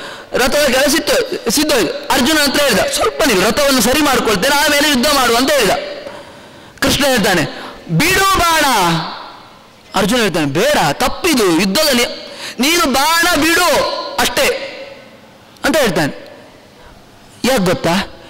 ಹಿಂದೆ ಅರ್ಜುನ, ಹಿಂದೆ ಇವನೇ ಈ ಕರ್ಣ ಅಲ್ಲ ಸುಗ್ರೀವನಾಗಿರುವಾಗ ಹೀಗೆ ಮಾಡಿದ್ದಾನೆ ನನ್ನನ್ನು ಬರದ ಹಿಂದೆ ನಿಂತು ನಿನ್ನನ್ನು ಕೊಲ್ಲುವಂತೆ ಹೇಳಿದ್ದಾನೆ. ಈಗ ನಾನೇ ಅವನು ಮೋಸದಿಂದ ನಿನ್ನನ್ನು ಕೊಲ್ಲಿಸಿದ ಹಿಂದಿನ ಜನ್ಮದಲ್ಲಿ, ಈಗ ನಾನು ಮೋಸದಿಂದ ಅವನನ್ನು ಕೊಲ್ಲಿಸ್ತೇನೆ. ಬಾಣ ಬಿಡು ಅಂತ ಹೇಳ್ತಾನೆ ಕೃಷ್ಣ. ಅರ್ಜುನ ಬಾಣ ಬಿಟ್ಟ. ದೇವರದ್ದು ಇದೆಲ್ಲ ನಿಯಮ ನೋಡಿ. ಹಿಂದಿನ ಜನ್ಮದಲ್ಲಿ ಅವನು ತಪ್ಪು ಮಾಡಿದ, ನಿನ್ನನ್ನು ಕೊಲ್ಲಿಸಿದ, ಈ ಜನ್ಮದಲ್ಲಿ ನಾನೇ ಅವನನ್ನು ಕೊಲ್ಲಿಸ್ತೇನೆ. ನಿನ್ನ, ಹೋದ ಜನ್ಮದಲ್ಲಿ ನಾನು ಕೊಂದೆ, ಈ ಜನ್ಮ ನಿನ್ನ ನಿನ್ನ ಮೂಲಕ ಅವನನ್ನು ಕೊಲ್ಲಿಸ್ತೇನೆ. ಎಂತ ವ್ಯವಸ್ಥೆ ರೀ ದೇವರದು ಅದನ್ನ ಯಾ ಲೆಕ್ಕ ತ್ರೇತಾಯುಗದಲ್ಲಿ ದ್ವಾಪರ ತ್ರೇತಾಯುಗ ತ್ರೇತಾಯುಗದಲ್ಲಿ ದ್ವಾಪರ ಯುಗ ತ್ರೇತಾಯುಗ ಆದ್ಮೇಲೆ ಭಕ್ತ ಎಷ್ಟೋ ವರ್ಷ ಬಿಟ್ಟು ದ್ವಾಪರ ಯುಗ ಆಗುದು. ಆ ದ್ವಾಪರ ಯುಗದಲ್ಲಿ ಈ ಕಥೆಯನ್ನು ಚುಪ್ತ ಮಾಡಿದ ದೇವರು ನೋಡಿ. ಎಷ್ಟು ವ್ಯವಸ್ಥೆ ಅಂದ್ರೆ ಆ ರೀತಿ ಅಂದ ವ್ಯವಸ್ಥೆ. ಆ ತ್ರಿಜಟೆ ಇದ್ದಾಗ ತ್ರಿಜಟೆ. ತ್ರಿಜಟೆ ತ್ರಿಜಟೆ ಇರ್ತಾಳೆ. ಅಲ್ಲಿ, ಇಲ್ಲಿ ಸೀತೆ, ಮಾಯಾ ಸೀತೆ. ನಿಜವಾದ ಸೀತೆ ಹೋದದ್ದಲ್ಲ, ಆ ಮಾಯಾ ಸೀತೆಯಲ್ಲಿ ಇಂದ್ರನ ಆವೇಶ ಇರ್ತದೆ. ಈ ತ್ರಿಜಟ ಯಾರ ಸೇವೆ ಮಾಡಿದಂತ ಈಗ? ಮಾಯಾ ಸೀತೆಯಲ್ಲಿ ಇದ್ದ ಇಂದ್ರನ ಸೇವೆ ಮಾಡಿದಂತೆ ಆಯ್ತು. ತ್ರೇತಾಯುಗದಲ್ಲಿ, ದ್ವಾಪರಯುಗದಲ್ಲಿ ಏನು ಮಾಡಿದ ಕೃಷ್ಣ? ಈ ತ್ರಿಜಟನೆ ಕೃಷ್ಣನ ತಂಗಿಯಾಗಿ ಬಂದದ್ದು, ಸುಭದ್ರೆಯಾಗಿ ಬಂದದ್ದು, ಅಲ್ವಾ? ಈ ಬಲ್ ಬಲರಾಮ ಏನು ಮಾಡಿದ ಕೃಷ್ಣನನ್ನ? ದುರ್ಯೋ, ದುರ್ಯೋಧನಿಗೆ ಕೊಟ್ಟು ಮದುವೆ ಮುಂದೆ ದಶಮಸ್ಕಂದಲ್ಲಿ ಬರ್ತದೆ ಈ ಕತೆ ಉದ್ದ ಆಗ ವಿವರಿಸೋಣ. ಅಲ್ಲಿ ಇವನಿಗೆ ಕೊಡು, ಕೊಡ್ತೇನೆ ಅಂತ ಬಲರಾಮ ಎಲ್ಲ ಭಾರಿ ಜೋರು ಮಾಡಿದ. ಕೃಷ್ಣ ಹೇಗೋ ಮಾಡಿ ಅರ್ಜುನನಿಗೆ ಕೊಟ್ಟ. ಯಾಕೆ ಗೊತ್ತಾ? ಅಲ್ಲಿ ತಿರುಜಟ ಇಂದ್ರನ ಸೇವೆ ಮಾಡಿದ್ರಿಂದ ತ್ರೇತಾಯುಗದಲ್ಲಿ ದ್ವಾಪರ ಯುಗದಲ್ಲಿ ಅವನಿಗೆ ಕೊಟ್ಟು ಮದುವೆ ಮಾಡಿದ ಕೃಷ್ಣ. ಇದು ದೇವರ ವ್ಯವಸ್ಥೆ ಕರೆಕ್ಟ್ ಇರ್ತದೆ ನಮಗ್ ನಮಗ್ ಗೊತ್ತಿಲ್ಲ ವ್ಯವಸ್ಥೆ ಅಷ್ಟೇ. ನಾವು ನಮಗೆ ಇದೇ ವ್ಯವಸ್ಥೆ ಸರಿ ಅಂತ ಅಂದುಕೊಂಡಿದ್ದೇವೆ. ಅದು ಇದನ್ನೆಲ್ಲ ಜೀವನದಲ್ಲಿ ಕೇಳಿ ಕೇಳಿ ನಾವು ಸ್ವಲ್ಪ ಅಳವಡಿಸ್ಕೊಳ್ಬೇಕು. ಆಗ ನಮಗೆ ಸ್ವಲ್ಪ ಸ್ವಲ್ಪ ನಾವು ಜೀವನದಲ್ಲಿ ಮುಂದುವರಿಬೋದು. ಈ ರೀತಿಯಾಗಿ ಸಮುದ್ರ ಮತ್ತು ಧನ್ವಂತರಿ ಬಂದ. ತಲೆಯಲ್ಲಿದ್ದಾನೆ ಮತ್ತೆ ಭೂ ಭೂಮಧ್ಯದಲ್ಲಿದ್ದಾನೆ. ಕಿರುನಾಲಿಗೆಯಲ್ಲಿದ್ದಾನೆ. ಹೃದಯದಲ್ಲಿದ್ದಾನೆ. ನಾಭಿಯಲ್ಲಿದ್ದಾನೆ. ಮತ್ತೆ ಮೂತ್ರಕೋಶದಿಂದ ಕೆಳಗಿನ ಭಾಗ, ಅದರ ಭಾಗ ಅಲ್ಲಿದ್ದಾನೆ. ಅಲ್ಲಿದ್ದಾನೆ ಏನ್ ಗೊತ್ತಾ? ಇದ್ದ, ಇದ್- ಇದ್ದು ಏನು ಪ್ರಯೋಜನ? ಇರುವುದು ಮಾತ್ರ ಅಲ್ಲ. ಇದ್ದು ಪ್ರತಿನಿತ್ಯನೂ ಕೂಡ ಅಲ್ಲಿಂದ ಅಮೃತ ಸ್ರಾವವನ್ನು ಮಾಡ್ತಾ ಇದ್ದಾನೆ. ಅವನು ಅಮೃತ ಸ್ರಾವವನ್ನು ಮಾಡ್ತಾ ಇರುವುದರಿಂದ ನಾವು ನೀವು ಇವತ್ತು ಆರೋಗ್ಯವಾಗಿದ್ದೇವೆ. ಪ್ರಧಾನವಾದ ಆರು ಇಂದ್ರಿಯಗಳಲ್ಲಿದ್ದು ಅಮೃತ ಸ್ರಾವವನ್ನು ಮಾಡ್ತಾ ಇದ್ದಾನೆ. ನಮ್ಮಿಂದ ಏನು ಅವನಿಗೆ ಉಪಯೋಗ ಇಲ್ಲ. ಅವನಿಂದ ನಾವು ತುಂಬ ಉಪಕಾರ ಪಡ್ಕೊಳ್ತಾ ಇದ್ದೇವೆ. ಅದರಿಂದ ಅಂತಹ ಧನ್ವಂತರಿ ಬಂದ. ಎಂತ ಕಾಂತಿ ಗೊತ್ತಾ ಒಂದು? ಚಂದ್ರೋಹ ಕಾಂತಿ. ಆ ಚಂದ್ರನ ಕಾಂತಿ ನೋಡಿದೇವಲ್ವಾ? ಅದಕ್ಕಿಂತ ಹೆಚ್ಚಿನ ಕಾಂತಿ ಅವನಲ್ಲಿತ್ತು. ಅಂತಹ ಧನ್ವಂತರಿಯನ್ನು ಪ್ರತಿನಿತ್ಯ ನಮ್ಮ ನಮ್ಮ ಎದೆಯಲ್ಲಿ ನಾವು ಚಿಂತನೆ ಮಾಡಬೇಕಂತ. ಚಂದ್ರೋಘ ಕಾಂತಿ ಮಮೃತೋರು ಕರೈ ಜಗಂತಿ ಸಂಜೀವ ಸಂಜೀವ, ಸಂಜೀವಯತಿ. ಆ ಧನ್ವಂತರಿ ರೂಪ ಪರಮಾತ್ಮನನ್ನು ನಮ್ಮ ಎದೆಯಲ್ಲಿ ನಾವು ಚಿಂತನೆ ಮಾಡಬೇಕಂತೆ. ಯಾಕೆ? ಎದೆಯಲ್ಲಿ ಚಿಂತನೆ ಮಾಡಿದ್ರೆ ನಮಗೆ ನಮಗೂ ಕೂಡ ಚಂದ್ರನಂತ, ಅಂದ್ರೆ ಚಂದ್ರ ಕಾಂತಿ ಅಂದ್ರೆ ಎಂತ ಗೊತ್ತಾ? ಚಂದ್ರ ತಂಪಲ್ವಾ ಚಂದ್ರ ನೋಡ್ಲಿಕ್ಕೆ ತಂಪಲ್ವಾ? ಆ ಧನ್ವಂತರಿ ಪರಮಾತ್ಮ ನಮ್ಮ ಎದೆಯಲ್ಲಿ ನಾವು ಚಿಂತನೆ ಮಾಡಿದ್ರೆ ನಮಗೆ ನಮ್ಮ ಮನಸ್ಸು ಕೂಡ ತಂಪಾಗಿರ್ತದೆ. ನಮ್ಮ, ನಿಮ್ಮ ಮನಸ್ಸು ತಂಪಾಗಿರ್ಬೇಕಂತ ನಾವು ಆಸೆ ಪಡ್ತೇವೆ ಅಲ್ವಾ ಧನ್ವಂತರಿ ಪರಮಾತ್ಮ ನಮ್ಮ ಮೇಲೆ ಏನು ಕಷ್ಟ ಇಲ್ಲ. ಒಂದು ಕೈಯಲ್ಲಿ ಜ್ಞಾನ ಮುದ್ರೆ, ಇನ್ನೊಂದು ಕೈಯಲ್ಲಿ ಅಮೃತ ಕಲಶವನ್ನು ಇಟ್ಕೊಂಡಿದ್ದಾನೆ ಎಂಬುದಾಗಿ ಚಿಂತನೆ ಮಾಡೋಣ. ಆಗ ನಮಗೆ ಧನ್ವಂತರಿ ಪರಮಾತ್ಮ ನಮ್ಮ ಎದೆಯಲ್ಲಿ ಬರ್ತಾನೆ. ಅದೇ ದೇವರಲ್ಲ, ಅದರ ಒಳಗೆ ಪ್ರಾಣ ದೇವರನ್ನು ಚಿಂತನೆ ಮಾಡಿ, ಅದರ ಒಳಗೆ ಧನ್ವಂತರಿ ಪರಮಾತ್ಮನ ಚಿಂತನೆ ಮಾಡಬೇಕು. ಪ್ರತಿಮೆಯಲ್ಲಿ ಹಾಗೆ ಚಿಂತನೆ ಮಾಡ್ತೇವೋ ಹಾಗೆ. ಪ್ರತಿಮೆ ನೋಡುವಾಗ ಪ್ರತಿಮೆಯಲ್ಲೇ ದೇವರಲ್ಲ. ಪ್ರತಿಮೆಯ ಒಳಗೆ ಪ್ರಾಣದೇವರನ್ನು ಚಿಂತನೆ ಮಾಡಿ, ಆ ಪ್ರಾಣದೇವರ ಒಳಗೆ ಕೃಷ್ಣನ ಮೂರ್ತಿಯನ್ನು ಚಿಂತನೆ ಮಾಡಬೇಕು. ಉಡುಪಿ ಕೃಷ್ಣನನ್ನು ನೋಡುವಾಗ ಕಡೆಗೋಲು ಹಿಡಿದ ಕೃಷ್ಣನನ್ನು ನೋಡುವಾಗ ಹೋದ ತಕ್ಷಣ ಮೊದಲು ಆ ಕಡೆಗೋಲು ಕೃಷ್ಣನ ಒಳಗೆ ದಿವ್ಯ ರೂಪದ ಪ್ರಾಣದೇವರನ್ನು ಚಿಂತನೆ ಮಾಡಬೇಕು. ಆ ಪ್ರಾಣದೇವರ ಒಳಗೆ ಕೃಷ್ಣನನ್ನು ಚಿಂತನೆ ಮಾಡಬೇಕು. ಇತರ ದೇವತೆಗಳನ್ನು ನೋಡುವಾಗ ಇತರ ದೇವ, ಆ ಮೂರ್ತಿಯ ಒಳಗೆ ಆ ದೇವತೆಯ ಮೂರ್ತಿಯನ್ನು ಚಿಂತನೆ ಮಾಡಬೇಕು. ಅವರ ಒಳಗೆ ಪ್ರಾಣದೇವ, ಅವರ ಒಳಗೆ ಭಗವದ್ ರೂಪವನ್ನು ಚಿಂತನೆ ಮಾಡಬೇಕು. ನಮ್ಮ ಎದೆಯಲ್ಲೂ ಕೂಡ ಹಾಗೆ. ಆ ರೀತಿಯಾಗಿ ನಾವು ಚಿಂತನೆ ಮಾಡಿತು ಎಂಬ ಪಕ್ಷದಲ್ಲಿ ನಮ್ಮ ಮನಸ್ಸು ಕೂಡ ತಂಪಾಗಿರ್ತದೆ. ಮತ್ತೆ ಈ ಆರು ಭಾಗದಲ್ಲಿದ್ದು ಅಮೃತಸ್ರಾವವನ್ನು ಮಾಡ್ತಾ ಇದ್ದಾನೆ. ಅಮೃತಸ್ರಾವ ಮಾಡಿ ನಮಗೆ ಒಳ್ಳೆಯ ಜ್ಞಾನವನ್ನು ಕೊಡ್ತಾ ಇದ್ದಾನೆ. ಅಂತಹ ಧನ್ವಂತರಿ ರೂಪಿ ಪರಮಾತ್ಮ ಬಂದ ಅಸುರರು ಎಳಿಲಿಕ್ಕೆ ಪ್ರಾರಂಭ ಮಾಡಿದ್ರು. ಆವಾಗ ಭಗವಂತ ಇನ್ನೊಂದು ರೂಪವನ್ನು ತಾಳಿದ. ಯಾವುದು? ಮೋಹಿನಿ ರೂಪವನ್ನು ತಾಳಿದ. ಹೆಣ್ಣಿಗೆ ಮರಳಾಗಿ ಹೆಣ್ಣಿನ ಹಿಂದೆ ಹೋದ್ರೆ ಅಸು, ಅಸುರರಂತೆ ಆಗ್ತೀರಿ ಎಂಬುದನ್ನು ಈ ಸಮುದ್ರ, ನಾವು ನೀವು ಅಷ್ಟೇ ಅಲ್ಲ, ಹೆಣ್ಣಿಗೆ ಮರಳಾಗಿ ಹೆಣ್ಣಿನ ಹಿಂದೆ ಹೋಗಬೇಡಿ. ನಮ್ಮ ನಮ್ಮ ಕೈ ಹಿಡಿದ ಹೆಣ್ಣಾದ್ರೆ ತೊಂದರೆ ಇಲ್ಲ. ಅವರ ಹಿಂದೆ ನೀರಿ ಹೊತ್ತಿರಬಾರ್ದು. ನಮ್ಮ ನಿಯತ ಪತ್ನಿಯರಂತೆ ಇರ್ತಾರಲ್ಲ, ನಾವು ಮದುವೆ ಶಾಸ್ತ್ರೋಕ್ತ ರೀತಿಯಲ್ಲಿ ಮದುವೆ ಆಗ್ತಾರಲ್ಲ, ಅವರ ಜೊತೆಗೆ ಮಾತ್ರ ಇರಬೇಕು. ಖುಷಿ ಬಂದವರ ಜೊತೆಗೆ ಹಿಂದೆ ಹೋಗಬಾರ್ದು. ಇವರೆಲ್ಲ ಏನು ಮಾಡಿ, ದೇವತೆಗಳು ಹೋಗಲಿಲ್ಲ, ಇವರೆಲ್ಲ ಹೆಣ್ಣಿನ ಹಿಂದೆ ಹೋದ್ರು, ಅಸುರರು, ಅವರಿಗೆ ತಪ್ಪಿ ಹೋಗ್ಬೇಕಂದ್ರೆ ದೇವ್ರು ಮಾಡಿದ್ರು. ನಮಗೊಂದು ಕತೆ, ಹೋದ್ರೆ ಅಮೃತ ಸಿಗಲ್ಲ, ಹೋದ್ರೆ ಇವರು ಹೋದ್ರು, ಮೋಹಿನಿ ರೂಪ ತಾಳಿತು, ಇವರು ಏನು ದೇವತೆಗಳ ಹಿಂದೆ ಹೋದ್ರು ಅಲ್ಲ ಅಸುರರು ಅಸುರರೆಲ್ಲ ದೇವತೆಗಳ ಹಿಂದೆ ಹೋದ್ರು ಅಮೃತವನ್ನು ಭಗವಂತ ದೇವತೆಗಳಿಗೆ ಕೊಟ್ಟ ಮತ್ತೆ. ಅಲ್ಲಿ ಮತ್ತೆ ಎಲ್ಲ ರಾಹು ಕೇತುವಿನ ಕಥೆ ಎಲ್ಲ ಬರ್ತದೆ. ಈ ರೀತಿಯಾಗಿ ಕೊಟ್ಟು ಈ ಸಮುದ್ರ ಮತನ ಕತೆ ಅಲ್ಲಿಗೆ ಶುಕಾಚಾರ್ಯರು ಮುಗಿಸ್ತಾರೆ. ಯಾಕೆ ದೇವತೆಗಳಿಗೆ ಯಾಕೆ ಅಮೃತ ಸಿಕ್ಕಿತು ಎಂಬುದನ್ನು ತಿಳಿಸ್ತಾರೆ. ಮೋಹಿನಿ ಉಪತಾಳಿ ತಾಳಿ ಮತ್ತೆ ದೇವತೆಗಳಿಗೆ ಅಮೃತವನ್ನು ಕೊಟ್ಟ. ಅಸುರರು ಮೋಹಿನಿ ರೂಪದಿಂದ ಬಂದು ಅವರಿಗೆ ಸಿಗಲಿಲ್ಲ. ದೇವತೆಗಳಿಗೆ ಯಾಕೆ ಅಮೃತ ಸಿಕ್ಕಿತು? ಏವಂ ಸುರಾಸುರಗಣ ಸಮದೇಶ ಕಾಲ ಹೇತ್ವರ್ಥ ಯೋಗ ಗತೋ ಗತಯೋಪಿ ಫಲೇ ವಿಕಲ್ಪ್ಯ. ತತ್ರಾಮೃತಂ ಸುರಗಣ ಫಲಮಂಜಸಾಪು ಯತ್ಪಾದ ಪಂಕಜ ರಜ ಶ್ರಯಣಾನ್ನ ದೈತ್ಯ ದೇವತೆಗಳು ಅಸುರರು ಸಮುದ್ರ ಮಥನವನ್ನು ಮಾಡಿದ್ದಲ್ವಾ? ಸಮದೇಶ, ಅದೇ ದೇಶದಲ್ಲಿ ಮಾಡಿದ್ದು. ದೇವತೆಗಳು ಯಾವ ದೇಶದಲ್ಲಿ ಮಾಡ್ತಾ ಇದ್ರೋ ಅದೇ ದೇಶದಲ್ಲಿ. ದೇವತೆಗಳು ಯಾವ ಕಾಲದಲ್ಲಿ ಮಾಡ್ತಾ ಇದ್ರೋ ಅದೇ ಕಾಲದಲ್ಲಿ. ದೇವತೆಗಳು ಏನನ್ನು ಅದಕ್ಕೆ ಬೇಕಾದ ಸಾಮಗ್ರಿಗಳನ್ನು ಉಪಯೋಗಿಸಿಕೊಂಡಿದ್ರೋ ಅದನ್ನೇ ಅಸುರರು ಕೂಡ ಉಪಯೋಗಿಸಿಕೊಂಡಿದ್ದರು ಆದರೆ ಫಲೇ ವಿಕಲ್ಪ್ಯ, ಫಲದಲ್ಲಿ ಮಾತ್ರ ವಿಕಲ್ಪ. ಯಾಕೆ ಗೊತ್ತಾ?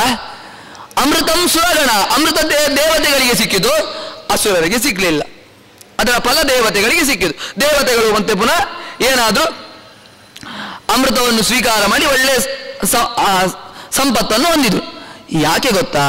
ಯತ್ಪಾದ ಪಂಕಜ ರಜಹ ಈ ದೇವತೆಗಳೆಲ್ಲ ದೇವರ ಕಾಲನ್ನು ಆಶ್ರಯ ಮಾಡಿಕೊಂಡಿದ್ರು. ದೇವತೆಗಳೆಲ್ಲ ದೇವರ ಪಾದವನ್ನು ಆಶ್ರಯ ಮಾಡಿಕೊಂಡಿದ್ರು. ಇವರೆಲ್ಲ ದೇವರ ಪಾದವನ್ನು ಆಶ್ರಯ ಮಾಡಿಕೊಡಲಿಲ್ಲ. ಆದ್ರಿಂದ ಇವರಿಗೆ ಎಲ್ಲ ಒಂದೇ ಕಾಲದಲ್ಲಿ ನಡೆದದ್ದು. ಅವರಿಗೆ ಅಷ್ಟು ಇತ್ತು? ಇವರಿಗೆ ಅದೇ ಆಯುಧ ಎಲ್ಲ ಇದ್ದದ್ದು. ಆದ್ರೆ ಫಲ ಮಾತ್ರ ಇವರಿಗೆ ಬಂತು. ಯಾಕೆ ಗೊತ್ತಾ? ಇವರು ದೇವರ ಪಾದವನ್ನು ಆಶ್ರಯ ಮಾಡಿಕೊಂಡಿದ್ದು. ಇವರು ದೇವರ ಪಾದವನ್ನು ಆಶ್ರಯ ಮಾಡಿಕೊಳ್ಳಲಿಲ್ಲ ಆದ್ರಿಂದ ಶುಕಾಚಾರ್ಯ ಪರೀಕ್ಷಿತನಿಗೆ ಹೇಳ್ತಾ ಇದ್ದಾರೆ, ದೇವರ ಪಾದವನ್ನು ಯಾರು ಆಶ್ರಯ ಮಾಡಿಕೊಳ್ತಾರೆ ಅವರಿಗೆ ಎಲ್ಲವೂ ಕೂಡ ಸಿಗ್ತದೆ. ದೇವರ ಪಾದವನ್ನು ಯಾರು ಆಶ್ರಯ ಮಾಡಿಕೊಳ್ಳಿಲ್ಲ ಅವರಿಗೆ ಎಂಥದ್ದು ಕೂಡ ಸಿಕ್ಕುವುದಿಲ್ಲ ವ್ಯವಸ್ಥಾನಾಯ ನಮಃ. ವ್ಯವಸ್ಥೆ ದುಷ್ಟರ ಏನು ವ್ಯವಸ್ಥೆ ಉಂಟು, ಅವರು ಕೂಡ ಅಮೃತಕ್ಕಾಗಿ ಹೋರಾಡಿದ್ರು. ದುಷ್ಟಾನ, ದುಷ್ಟಾನ್ ವ್ಯವಸ್ಥಾನ್ ಅಪನಯತಿ ಇತಿ ವ್ಯವಸ್ಥಾನ. ದುಷ್ಟರ ಯಾರು, ದುಷ್ಟರು ಯಾರು? ಈ ಅಸುರರು, ಅವರು ದುಷ್ಟರು. ಅವರ ವ್ಯವಸ್ಥೆ ಏನುಂಟು? ಅಮೃತ ಸಿಗಬೇಕಂತ ಅವರು ಮಾಡಿದ್ದು. ಆ ವ್ಯವಸ್ಥೆಯನ್ನು ಮೋಹಿನಿ ರೂಪವನ್ನು ತಾಳುವ ಮೂಲಕ ಅವರ ವ್ಯವಸ್ಥೆಯನ್ನು ಹಾಳು ಮಾಡಿದ. ಆದ್ರಿಂದ ಭಗವಂತನು ವ್ಯವಸ್ಥಾನ, ದೇವತೆಗಳಿಗೆ ವ್ಯವಸ್ಥೆ ಮಾಡಿದ ದುಷ್ಟರ ವ್ಯವಸ್ಥೆಯನ್ನು ಹಾಳು ಮಾಡಿದ ವ್ಯವಸ್ಥಾನಾಯ ನಮಃ. ನಮ್ಮ ಜೀವನದಲ್ಲಿ ಯಾವುದಾದ್ರೂ ಒಂದು ಅವ್ಯವಸ್ಥೆ ಆಯಿತು ಅಂತಾದ್ರೆ ಭಗವಂತನು ವ್ಯವಸ್ಥಾನ ಅಂತ ಉಪಾಸನೆ ಮಾಡೋಣ. ಮೇಲ್ನೋಟಕ್ಕೆ ಅವ್ಯವಸ್ಥೆ ಅಂತ ತಾಳು ಕಾಣಬಹುದು. ಅಯ್ಯೋ, ನನ್ನ ಜೀವನದಲ್ಲಿ ಹೀಗೆ ನಡೆದು ಬಿಟ್ಟಿತಲ್ವಾ ಅಂತ ನಾವು ಯೋಚನೆ ಮಾಡಬಹುದು ಯೋಚನೆ ಮಾಡಿ ಕೊರಗಬಹುದು. ಹಾಗಾದ್ರೆ ಭಗವಂತನ ಆವಾಗ ವ್ಯವಸ್ಥಾನದ ಉಪಾಸನೆ ಮಾಡೋಣ. ಕೆಟ್ಟದಾಗಿದ್ರೂ ಕೂಡ ಅದರಿಂದ ಯಾವುದೊಂದು ಒಳ್ಳೆಯದಾಗಲಿಕ್ಕೆ ಇರ್ತದೆ. ಅದಕ್ಕಿಂತ ದೊಡ್ಡ ಹುದ್ದೆ ಸಿಗಬೇಕಂತ ಇರ್ತದೆ. ಅದಕ್ಕಿಂತ ಒಳ್ಳೆಯ ಗೌರವ ಸಿಗಬೇಕಂತ ಇರ್ತದೆ. ಯಾವುದಾದ್ರೂ ಒಂದು ಸಾಧನೆ ಮಾಡಲಿಕ್ಕೋಸ್ಕರ ಯಾವುದೋ ಒಂದು ನಮ್ಮಿಂದ ಕಿತ್ಕೊಳ್ತಾನೆ ದೇವರು. ಅದೇ ವ್ಯವಸ್ಥಾ, ಸಜ್ಜನರಾದ ನಮಗೆ ವ್ಯವಸ್ಥೆಯನ್ನು ದೇವರು ಮಾಡ್ತಾನೆ. ವ್ಯವಸ್ಥಾನ ಎನ್ನುವ ಸಜ್ಜನರಿಗೆ ದುಷ್ಟರ ವ್ಯವಸ್ಥೆಯನ್ನು, ಯಾರು ದುಷ್ಟರು? ಅಸುರರ ವ್ಯವಸ್ಥೆಯನ್ನು ಹಾಳು ಮಾಡಿದವ. ನಮ್ಮ, ನಿಮ್ಮ ಜೀವನದಲ್ಲಿ ನಾವು ಒಳ್ಳೆಯ ಕೆಲಸವನ್ನು ಮಾಡಲಿಕ್ಕೆ ಹೋಗುವಾಗ ಯಾವುದೋ ಒಂದು ಅಸುರರು ಅಸುರ ವೇಷದಲ್ಲಿರುವಂತಹ ಮನುಷ್ಯರು ನಮಗೆ ಕೇಡು ಬಯಸ್ತಾನೆ ಇರ್ತಾರೆ. ಅದಕ್ಕೆ ನಮಗೆ ಹಾಳಾಗಬೇಕಂತ ಯಾವುದೋ ಯಾವುದೋ ಮಾಸ್ಟರ್ ಪ್ಲಾನ್ ಅನ್ನು ಹಾಕೊಳ್ತಾ ಇರ್ತಾರೆ. ಅವರ ಮಾಸ್ಟರ್ ಪ್ಲಾನ್ ಹಾಳಾಗುವಂತೆ ನಾವು ಅವರಿಗೆ ಬೈಯುವುದು ಬೇಡ. ದೇವರಲ್ಲಿ ವ್ಯವಸ್ಥಾನ ಅಂತ ಉಪಾಸನೆ ಮಾಡೋಣ. ಅವರ ವ್ಯವಸ್ಥೆಯನ್ನು ಹಾಳು ಮಾಡೋ. ಎಂಥದ್ದೇ ಪ್ಲಾನ್ ಮಾಡಲಿ, ಆ ವ್ಯವಸ್ಥೆಯನ್ನು ಹಾಳು ಮಾಡುವವ ಅಂತ ದೇವರನ್ನು ಈ ಸಮುದ್ರ ಮಥನದಲ್ಲಿ ನೀನು ಹೇಗೆ ಆ ಅಸುರರ ವ್ಯವಸ್ಥೆಯನ್ನು ಹಾಳು ಮಾಡಿದೆಯೋ ಅದರಂತೆಯೇ ನನ್ನ ನನಗೆ ಕೇಡು ಬಯಸ್ತಾ ಇರುವಂತವರ ವ್ಯವಸ್ಥೆಯನ್ನು ಕೂಡ ಹಾಳು ಮಾಡು. ಶ್ರೀ ವ್ಯವಸ್ಥಾನಾಯ ನಮಃ. ಶ್ರೀ ಶುಕಾಚಾರ್ಯ ಅಂದ್ರೆ ಆದ್ರಿಂದ ಪರೀಕ್ಷಿತ ದೇವರ ಪಾದವನ್ನು ಹಿಡ್ಕೊ ಒಳ್ಳೆಯ ವ್ಯವಸ್ಥೆ ಆಗ್ತದೆ. ದೇವರ ಪಾದವನ್ನು ಹಿಡಿಯ ಹಿಡಿಯದ ಅಸುರರಿಗೆ ಏನು ವ್ಯವಸ್ಥೆ ಆಯಿತು ನೋಡು ಎಂಬುದಾಗಿ ಪರೀಕ್ಷಿತನ ಹತ್ರ ಶುಕಾಚಾರ್ಯರು ಹೇಳ್ತಾ ಇದ್ದಾರೆ. ಮುಂದೆ ಭಗವಂತನ ಇನ್ನೊಂದು ಅವತಾರ. ವಾಮನ ಅವತಾರ. ಬಲಿಚಕ್ರವರ್ತಿ ಪ್ರಹ್ಲಾದನ ಮೊಮ್ಮಗ. ಬಲಿಚಕ್ರವರ್ತಿ ಮೂರು ಅಶ್ವ, ಅವನಿಗೆ ಇಂದ್ರಪದ ಸಿಗ್ತಾ ಇತ್ತು. ಸ್ವಲ್ಪ ಗಡಿಬಿಡಿ ಮಾಡಿದ. ಯಾವುದು ಗಡಿಬಿಡಿ ಮಾಡುವ? ಬಲಿಚಕ್ರವರ್ತಿ ನೋಡಿ ನಾವು ಕಲಿಬೇಕು ಜೀವನದಲ್ಲಿ ಗಡಿಬಿಡಿ ಮಾಡ್ಲಿಕ್ಕೆ ಹೋಗೋದು. ಆರಾಮಾಗಿರ್ಬೇಕು. ಯಾವ ಯಾವ ಕಾಲಕ್ಕೆ ಏನೇನಾಗಬೇಕು ಅದು ದೇವರು ಮಾಡಿಸ್ತಾನೆ. ಗಡಿಬಿಡಿ ಮಾಡ್ಲಿಕ್ಕೆ ಹೋದರೆ ಬಲಿ ಚಕ್ರವರ್ತಿ ರೀತಿ ಆಗ್ತದೆ ನಮ್ಮ ಕತೆ. ಅದು ಕೂಡ ನಮ್ಮ ಕಥೆಯೇ ಬಲಿ ಚಕ್ರವರ್ತಿಯ ಕತೆ ಉಂಟಲ್ವಾ? ಅದು ಕೂಡ ನಮ್ಮ ಕಥೆನೆ ಅವ್ನು ನೋಡಿ ಗಡಿಬಿಡಿ ಮಾಡ್ಲಿಕ್ಕೆ ಹೋದ. ಅವನಿಗೆ ಸಿಗ್ತಾ ಇರ್ತಿಲ್ಲ ಇಂದ್ರಪಟ್ಟ ಸಿಗ್ತಾ ಇರ್ತಿರ್ಲಿಲ್ವಾ? ಸಿಗ್ತಾ ಇತ್ತು. ಈವಾಗಲೇ ಬೇಕು ಹೇಳಿದೆ. ಈವಾಗಲೇ ಇಂದ್ರಪಟ್ಟ ಬೇಕು ಹೇಳಿದೆ ದೇವರು ಬಿಡ್ತಾನಾ? ಈಗ ಅಲ್ಲಿ ಒಬ್ಬ ಇಂದ್ರ ಕೂತ್ಕೊಳ್ಳಿಲ್ವಾ? ಕೂತ್ಕೊಳ್ಳುವಾಗ ನಂಗೆ ಬೇಕು ಹೇಳಿದ್ರೆ, ಆಯ್ತು, ಕೂತ್ಕೊ, ನಿಂಗೆ ನಾನು ವ್ಯವಸ್ಥೆ ಮಾಡಿದೆ ವ್ಯವಸ್ಥೆ ಮಾಡಿದೆ ಬರೀ ಚಕ್ರವರ್ತಿಗೆ ಮತ್ತೆ. ಅದ ಗಡಿಬಿಡಿ ಮಾಡಬೇಡಿ, ಜೀವನದಲ್ಲಿ ಎಂದಿಗೂ ಕೂಡ ಗಡಿಬಿಡಿ ಮಾಡ್ಲಿಕ್ಕೆ ಹೋಗಬೇಡಿ. ಯಾವ ಯಾವ ಕಾಲಕ್ಕೆ ಪ್ರಯತ್ನ ಪಡಬೇಕು, ಯಾವ ಯಾವ ಕಾಲಕ್ಕೆ ಏನೇನಾಗಬೇಕು ದೇವ್ರು ಮಾಡ್ತಾನೆ ನಿಮ್ಮ ಪ್ರಯತ್ನವನ್ನು ಮಾಡಿ. ಅದು ಅದು ಬಿಟ್ಟು, ಇವಾಗಲೇ ಬೇಕದು ಅಂತ ಮಾಡ್ಲಿಕ್ಕೆ ಹೋಗ್ಬೇಡಿ. ಇವಾಗಲೇ ಸಿಗಬೇಕು ನನಗೆ. ಬೇಡ. ನೂರನೇ ಅಶ್ವಮೇಧ ಯಾಗಕ್ಕೆ ಹೊರಟಿದ್ದಾನೆ. ಇಂದ್ರ ಪದವಿ ಬೇಕಂತ ಭಗವಂತ ವಾಮನ ರೂಪದಿಂದ ಬಂದ. ವಾಮನ ಶಬ್ದ ಅರ್ಥ ಏನು ಮಂಗಳಕರ.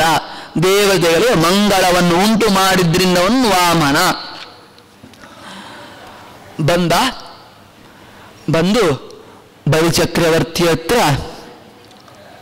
ನನಗೆ ಮೂರು ಹೆಜ್ಜೆ ಬೇಕು ಅಂದ.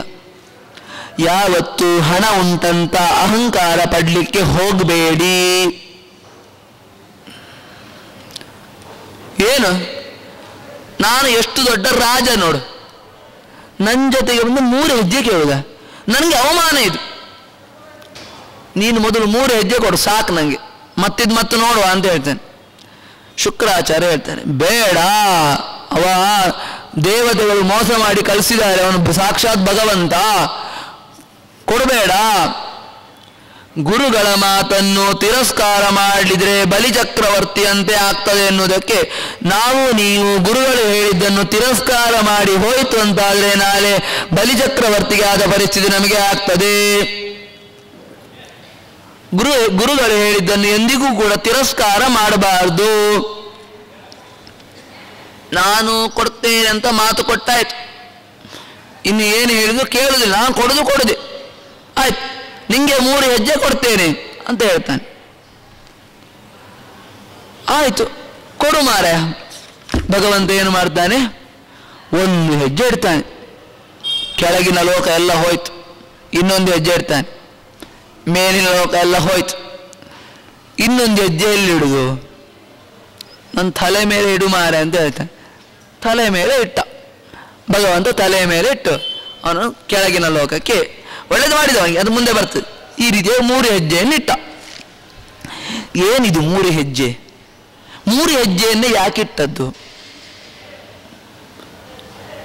ನಾವು ನೀವು ಬಯ ಚಕ್ರವರ್ತಿಗಳು.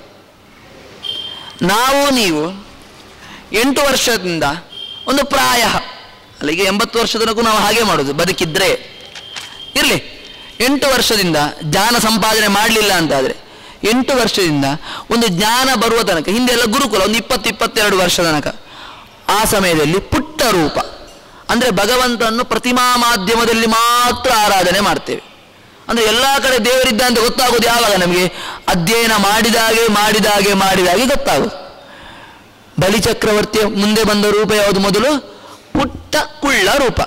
ನಾವು ನೀವು ಬಲಿಚಕ್ರವರ್ತಿಗಳು ಮೊದಲು ನಾವು ಪ್ರಾರಂಭದ ಹಂತದಲ್ಲಿ ದೇವರನ್ನು ಪ್ರತಿಮಾ ಮಾಧ್ಯಮದಲ್ಲಿ ಮಾತ್ರ ಆರಾಧನೆ ಮಾಡ್ತೇವೆ. ಅಲ್ವಾ?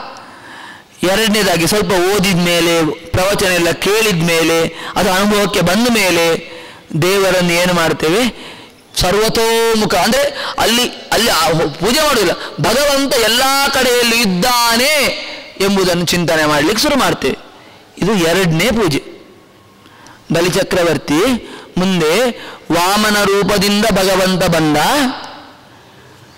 ಪ್ರ ಅಂದ್ರೆ ನಾವು ಮಾಡುವ ಧರಣೆ ಪ್ರತಿಮಾರಾಧನೆ ಚಿಕ್ಕ ರೂಪ, ಚಿಕ್ಕ ಮೂರ್ತಿಯನ್ನಿಟ್ಟು ಪೂಜೆ ಮಾಡುವಂಥದ್ದು. ಎರಡನೇದ್ದು ಎರಡನೇದ್ದು ಬಲಿಚಕ್ರ ಮೂರ್ತಿ, ಮೂರ್ತಿಯ, ಬಲಿಚಕ್ರವರ್ತಿಯ ಮುಂದೆ ತ್ರಿವಿಕ್ರಮನಾಗಿ ಬೆಳೆದ, ಅಂದ್ರೆ ವ್ಯಾಪ್ತನಾಗಿ ಬೆಳೆದ, ನಾವು ನೀವು ಭಗವಂತನು ವ್ಯಾಪ್ತ ಎಂಬುದಾಗಿ ಉಪಾಸನೆ ಮಾಡು ಎಂಬುದನ್ನು ತೋರಿಸ್ತಾ ಇದ್ದಾನೆ. ಎರಡನೇರುವುದು ವ್ಯಾಪ್ತನಾಗಿ ಬೆಳೆದ. ಅಂತಹ ಭಗವಂತನಿಗೆ, ವ್ಯಾಪ್ತನಾಗಿ ಬೆಳೆದ ಭಗವಂತನಿಗೆ ಬಲಿಚಕ್ರವರ್ತಿ ಮೂರನೇದಾಗಿ ಏನು ಮಾಡಿದ? ತನ್ನ ತಲೆಯನ್ನೇ ಕೊಟ್ಟ. ನಾವು ನೀವು ಜೀವನದಲ್ಲಿ ಭಗವಂತನ್ನು ವ್ಯಾಪ್ತ ಅಂತ ಉಪಾಸಿದ ಮೇಲೆ ಉಪಾಸಿದ ಮೇಲೆ ನನ್ನ ತಲೆ ನಿನಗೆ ಅಂದರೆ ನಾನು ನಿನಗೆ ನನ್ನ ನನ್ನನ್ನು ನಿನಗೆ ನಾನು ಅರ್ಪಿಸಿಕೊಂಡಿದ್ದೇನೆ.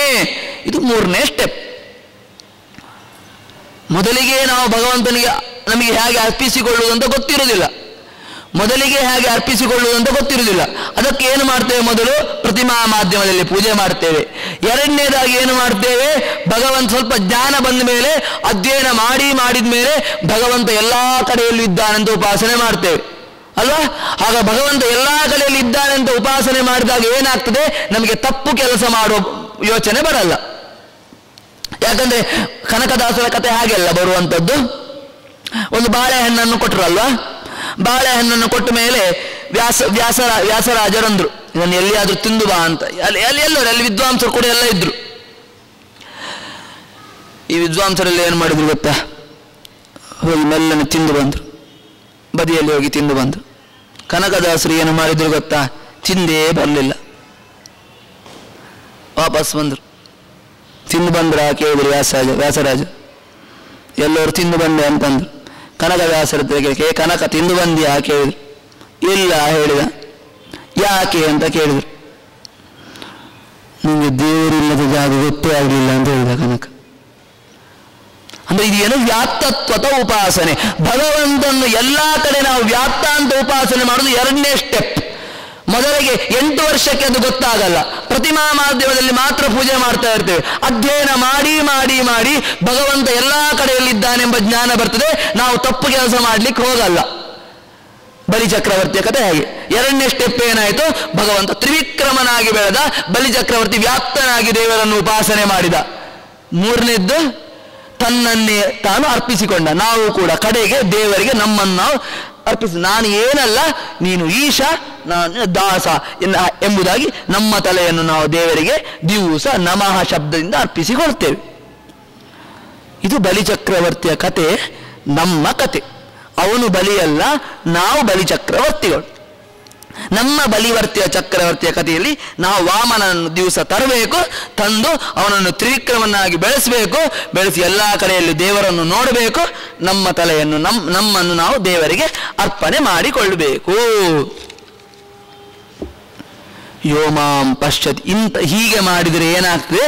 ಭಗವಂತ ಅವನನ್ನು ಕಾಪಿಡುತ್ತಾನೆ. ಬಲಿಚಕ್ರವರ್ತಿ ತನ್ನ ತಲೆಯನ್ನು ಕೊಟ್ಟದ್ರಿಂದ ಅವನನ್ನು ಏನು ನಿರ್ನಾಮ ಮಾಡಲಿಲ್ಲ. ಅವನು ಮಾಡಿದ ತಪ್ಪನ್ನು ಏನು ಮಾಡಿದ ಭಗವಂತ? ಅವನು ಅಸುರಾವೇಶಕ್ಕೆ ಒಳಗಾಗಿ ಹೀಗೆ ಮಾಡಿದ್ದು. ಅದು ಹೇಳ್ತಾರೆ, ಏವಮ್ಮೆ ಪ್ರಾಪಿತ ಸ್ಥಾನಂ ದುಷ್ಪ್ರಾಪಂ ಅಮರೈರಪಿ.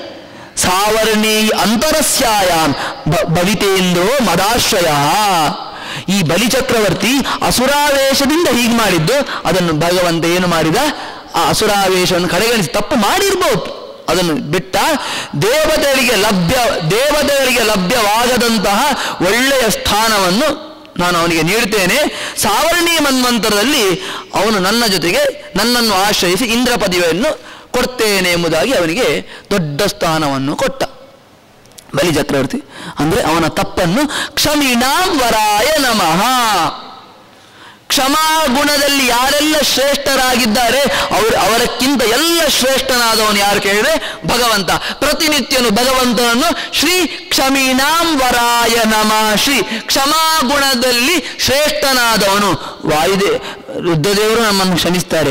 ವಾಯುದೇವರು ನಮ್ಮನ್ನು ಕ್ಷಮಿಸ್ತಾರೆ. ಇಂದ್ರದೇವರು ನಮ್ಮನ್ನು ಕ್ಷಮಿಸ್ತಾರೆ. ಅವರ ಕ್ಷಮೆಯಲ್ಲಿ ಉಂಟಲ್ವಾ? ಸ್ವಲ್ಪ ದೋಷ ಉಂಟು. ಏಕ್ ಗೊತ್ತಾ? ಅದರಲ್ಲಿ ಭಗವಂತ ಪ್ರೀತನಾಗ್ಲಿ ಎಂಬ ಒಂದು ಭಾವನೆ ಉಂಟು ಅವರಿಗೆಲ್ಲ. ಅವರು ಕ್ಷ ಅವರು ನಮ್ಮನ್ನು ಕ್ಷಮೆ ಮಾಡಿದರೆ ಏನಾಗ್ತದೆ? ಅದರಿಂದ ಭಗವಂತ ಪ್ರೀತನಾಗ್ತಾನೆ. ಅದರ ಮೂಲಕ ಅವರಿಗೆ ಅನುಗ್ರಹ ಆಗ್ತದೆ. ಆದರೆ ಭಗವಂತ ನಮ್ಮನ್ನು ಕ್ಷಮೆ ಮಾಡ್ತಾನಲ್ವಾ? ಯಾರಿಗೂ ಕೂಡ ಪ್ರೀತಿಯಾಗಿ ಅಂತ ಅವನು ಕ್ಷಮೆ ಮಾಡುವುದಲ್ಲ ಅವನಲ್ಲಿ ಸ್ವಲ್ಪವೂ ಕೂಡ ಇದಿಲ್ಲ. ಎಂತ ಸ್ವಾರ್ಥ ಇಲ್ಲ. ಸ್ವಾರ್ಥ ಇಲ್ಲದೆ ನಮ್ಮ ತಪ್ಪನ್ನು ಕ್ಷಮೆ ಮಾಡುವನು ಅಂತ ಇದ್ದಾನೆ ಅಂತ ಅದರದ್ದು ಭಗವಂತ ಮಾತ್ರ. ಮತ್ತೆ ಇತರ ದೇವತೆಗಳು ಎಲ್ಲರೂ ಕೂಡ ನಮ್ಮ ತಪ್ಪನ್ನು ಕ್ಷಮಿಸ್ತಾರೆ. ಅವರ ಕ್ಷಮೆಯಲ್ಲಿ ಒಂದು ಸ್ವಾರ್ಥ ಇದೆ. ಭಗವಂತ ಪ್ರೀತನಾಗಲಿ ಎಂಬ ಸ್ವಾರ್ಥ ಇದೆ. ನಮ್ಮ ಉಡುಪಿ ಕೃಷ್ಣನಿಗೆ ಯಾವ ಸ್ವಾರ್ಥನೂ ಕೂಡ ಇಲ್ಲದೆ ನಮ್ಮ ತಪ್ಪನ್ನು ಕರ್ಷಣೆ ಮಾಡ್ತಾನೆ. ಕರ್ಷಯತೀತಿ ಕೃಷ್ಣ. ನಮ್ಮ ತಪ್ಪನ್ನು ಕರ್ಷಣೆ ಮಾಡ್ತಾನೆ, ಆದ್ರಿಂದನೇ ಅವನು ಕೃಷ್ಣ. ವಾಮನ ಏನು ಮಾಡಿದ? ಅವನ ತಪ್ಪನ್ನು ಕ್ಷಮಿನಾಂಬರ ಎಂಬ ರೂಪದಿಂದ ಆ ಪಾಪವನ್ನು ಕ್ಷಮೆ ಮಾಡಿ ಅವನಿಗೆ ಒಳ್ಳೆಯ ಸ್ಥಾನವನ್ನು ಕೊಟ್ಟ. ಸಂಸ್ಥಾನಾಯ ನಮಃ, ಒಳ್ಳೆಯ ಸ್ಥಾನವನ್ನು ಕೊಡುವವನು. ಭಗವಂತನು ಸಂಸ್ಥ ನಮಗೂ ನಿಮಗೂ ಜೀವನದಲ್ಲಿ ಒಳ್ಳೆಯ ಸ್ಥಾನ ಸಿಗಬೇಕಂತ ನಾವು ಅಪೇಕ್ಷೆ ಪಡ್ತೇವೆ. ನಮ್ಮ ನಮ್ಮ ಯೋಗ್ಯತೆಗೆ ಅನುಗುಣವಾಗಿ ನಮಗೆ ಒಳ್ಳೆಯ ಸ್ಥಾನ ಸಿಗಬೇಕೆಂತ ನಾವು ಆಸೆ ಪಡ್ತೇವೆ. ಭಗವಂತನು ಸಂಸ್ಥಾನಾಯ ನಮ ಅಂತ ಉಪಾಸನೆ ಮಾಡೋಣ. ದೇವರ ಮುಂದೆ ಹೋಗಿ ನನ್ನ ಮಗನಿಗೆ ಒಳ್ಳೆಯ ಸ್ಥಾನವನ್ನು ಕೊಡಪ್ಪ ಅಂತ ಹೀಗೆ ಕೇಳುವುದಕ್ಕಿಂತ ಭಗವಂತನನ್ನು ಶ್ರೀ ಸಂಸ್ಥಾನಾಯ ನಮಃ ಶ್ರೀ ಒಳ್ಳೆಯ ಸ್ಥಾನವನ್ನು ಕೊಡುವವ. ಆಗ ನಮಗೆ ಭಗವಂತ ನಮ್ಮ ಯೋಗ್ಯತೆಗೆ ಅನುಗುಣವಾಗಿ ನಮಗೆ ನಿಮಗೆ ಒಳ್ಳೆಯ ಸ್ಥಾನವನ್ನು ತಂದು ಕೊಡ್ತಾನೆ. ಬಲಿಚಕ್ರವರ್ತಿಗೆ ಒಳ್ಳೆಯ ಸ್ಥಾನವನ್ನು ಕೊಟ್ಟ. ಹಾಗಾದ್ರೆ ಆ ವಾಮನನನ್ನು ಆಗ ಹೇಳಿದಂತೆ ನಮ್ಮಲ್ಲಿ ಚಿಂತನೆ ಮಾಡಿ ನಮ್ಮ ತಲೆಯನ್ನು ನಾವು ದೇವರಿಗೆ ಅರ್ಪಣೆ ಮಾಡಿದ್ರೆ, ಪ್ರತಿಮಾ ಮಾಧ್ಯಮದಲ್ಲಿ ಮೊದಲು ಪೂಜೆ ಮಾಡುದು ಎರಡನೇ ಪೂಜೆ ನಾವು ವ್ಯಾಪ್ತನ ಈ ಬಲಿ ಚಕ್ರವರ್ತಿಗಳು ನಾವು ನೀವು ಬಲಿ ಚಕ್ರವರ್ತಿಗಳು ಎರಡನೇದಾಗಿ ವ್ಯಾಪ್ತನಾಗಿ ಎಲ್ಲಾ ಕಡೆಯಲ್ಲೂ ದೇವರನ್ನು ಪೂಜೆ ಮಾಡುದು, ಪೂಜೆ ಮಾಡಿ ಮೂರನೇದಾಗಿ ನಮ್ಮ ತಲೆಯನ್ನು ದೇವರಿಗೆ ಅರ್ಪಣೆ ಮಾಡಿದ್ರೆ ಏನು ಮಾಡ್ತಾನೆ ನಮ್ಮ ಭಗ- ಭಗವಂತ? ಮಂಗಳಕರನಾದ ವಾಮನ, ಅವನಿಗೆ ಮಂಗಳಕರ ಎಂಬುದಾಗಿ ಅರ್ಥ, ಅವನು ಏನು ಮಾಡ್ತಾನೆ? ನಮಗೆ ಒಳ್ಳೆಯ ಸ್ಥಾನವನ್ನು ತಂದು ಕೊಡ್ತಾನೆ. ಈ ಬಲಿ ಚಕ್ರವರ್ತಿಗಳಿಗೂ ಒಳ್ಳೆಯ ಸ್ಥಾನವನ್ನು ತಂದು ಕೊಡ್ತಾನೆ. ಯೋ ಮಾಂ ಪಶ್ಯತಿ ಸರ್ವತ್ರ ಸರ್ವಂಚ ಮೈ ಪಶ್ಯತಿ ಯಹ ಮಾಂ ಯಾರು ನನ್ನನ್ನು ಎಲ್ಲಾ ಕಡೆಯಲ್ಲೂ ಕೂಡ, ಸರ್ವತ್ರ ಎಲ್ಲಾ ಕಡೆಯಲ್ಲೂ ಕೂಡ ಪಶ್ಯತಿ ಕಾಣ್ತಾನೆ. ಹಾಗೆ? ನಿಯಾಮಕನಾಗಿ ನನ್ನನ್ನು ಎಲ್ಲಾ ಕಡೆಯಲ್ಲಿ ಯಾರು ಕಾಣ್ತಾನೋ, ಸರ್ವಂಚ ಮೈ ಪಶ್ಯತಿ. ಎಲ್ಲವೂ ಕೂಡ ನನ್ನ ಆಧಾರದಲ್ಲಿ ಇದೆ. ಅಂದ್ರೆ ಎಲ್ಲವೂ ಕೂಡ ನನ್ನ ಆಧಾರದಲ್ಲಿ ಇದೆ ಅಂತ ಯಾರು ಕಾಣ್ತಾನೋ ತಸ್ಯ ಅಹಂ ನ ಪ್ರಣಶ್ಯತಿ. ಅವನ ಪಾಲಿಗೆ ನಾನು ನಾಶವನ್ನು ಹೊಂದುವುದಿಲ್ಲ. ಬಲಿಚಕ್ರವರ್ತಿ ಎಲ್ಲಾ ಕಡೆಯಲ್ಲಿ ಭಗವಂತ ಇದ್ದಾನೆಂದು ಅನುಸಂಧಾನ ಮಾಡಿದ ಬಲಿಚಕ್ರವರ್ತಿಯ ಪಾಲಿಗೆ ದೇವರು ಏನಾದ? ಬಲಿಚಕ್ರವರ್ತಿಯ ಪಾಲಿಗೆ ದೇವರು ಏನಾಗ್ತಾನಾಗ? ನಾಶವನ್ನು ಹೊಂದುವುದಿಲ್ಲ. ಸಚಮೇ ನ ಪ್ರಣಶ್ಯತಿ. ಈ ರೀತಿಯಾಗಿ ಯಾರು ಕಾಣ್ತಾರೆ? ಅವರು ಕೂಡ ನನ್ನ ಪಾಲಿ, ಅಂದ್ರೆ ಭಗವಂತನ ಪಾಲಿಗೆ ನಾಶವನ್ನು ಹೊಂದುವುದಿಲ್ಲ. ಭಗವಂತನು ಕೂಡ ಅವರಿಗೆ ಅನುಗ್ರಹ ಮಾಡ್ತಾನೆ. ಅಂದ್ರೆ ಭಗವಂತನ ಭಕ್ತನಾಗಿ ಅವನು ಇರ್ತಾನೆ. ಅವನ ಬಾಲಿಗೆ ನಾವು ನಾಶ, ನಮ್ಮ ಬಾಲಿಗೆ ಭಗವಂತ. ಭಗವಂತನು ಕೂಡ ನಮ್ಮ ಪರವಾಗಿ ಇರ್ತಾನೆ. ನಮ್ಮನ್ನು ನಾವು ದೇವರಿಗೆ ಅರ್ಪಣೆ ಮಾಡಿಕೊಂಡ್ರೆ ನಮ್ಮ ಪರವಾಗಿ ದೇವರು ಇರ್ತಾನೆ ಎಂಬುದನ್ನು ತಿಳಿಸ್ತಾರೆ. ಈ ರೀತಿಯಾಗಿ ಆ ಬಲಿಚಕ್ರವರ್ತಿಯ ಕಥೆಯನ್ನು ಹೇಳಿ ವಾಮನನ್ನು ಒಳ್ಳೆಯ ರೀತಿಯಾಗಿ ಒಂದು ಅನುಸಂಧಾನ ಕೊಡ್ತಾರೆ. ಬ್ರಹ್ಮಸೂತ್ರ ಭಾಷ್ಯದಲ್ಲಿ. ಒಂದನೇ ಅಧ್ಯಾಯದ ಎರಡನೇ ಪಾದ. ಹದಿನಾಲ್ಕನೇ ಸೂತ್ರ, ಸ್ಥಾನಾದಿ ವ್ಯಪದೇಶಾಚ್ಚ ಓಂ ಅಂತರ ಉಪಪತ್ತೇಹೇ ಓಂ ಅಂತೊಂದು ಬ್ರಹ್ಮಸೂತ್ರ. ಆ ಬ್ರಹ್ಮಸೂತ್ರದಲ್ಲಿ ವಾಮನನಿಗೆ, ಅವನ ಅವನ ಅರ್ಥಕ್ಕೂ, ಆ ಶಬ್ದದ ಅರ್ಥಕ್ಕೂ ಎಷ್ಟು ಇಲ್ಲಿ ಕೊಡುವ ಶ್ಲೋಕಕ್ಕೆ ಎಷ್ಟು ವರಾಹ ಪುರಾಣದಲ್ಲಿ ಬರುವಂತ ಶ್ಲೋಕ ಇದು. ಮಂಗಳಕರ ಅಂತ ಅರ್ಥ ನೋಡಿ. ಆ ಶ್ಲೋಕ ಏನು ಹೇಳ್ತದೆ ಕೇಳಿದೆ ಯಸ್ಥಾನತ್ವಾದಿದಂ ಚಕ್ಷು ಯಸ್ಥಾನತ್ವಾತ್ ಇದಂ ಚಕ್ಷು ಅಸಂಗಂ ಸರ್ವವಸ್ತುಭಿ ಅಸಂಗಂ ಸರ್ವವಸ್ತುಭಿ ಸ ವಾಮನ ಪರಃ ಅಸ್ಮಾಕಂ ಗತಿರಿತ್ಯೇವ ಚಿಂತಯ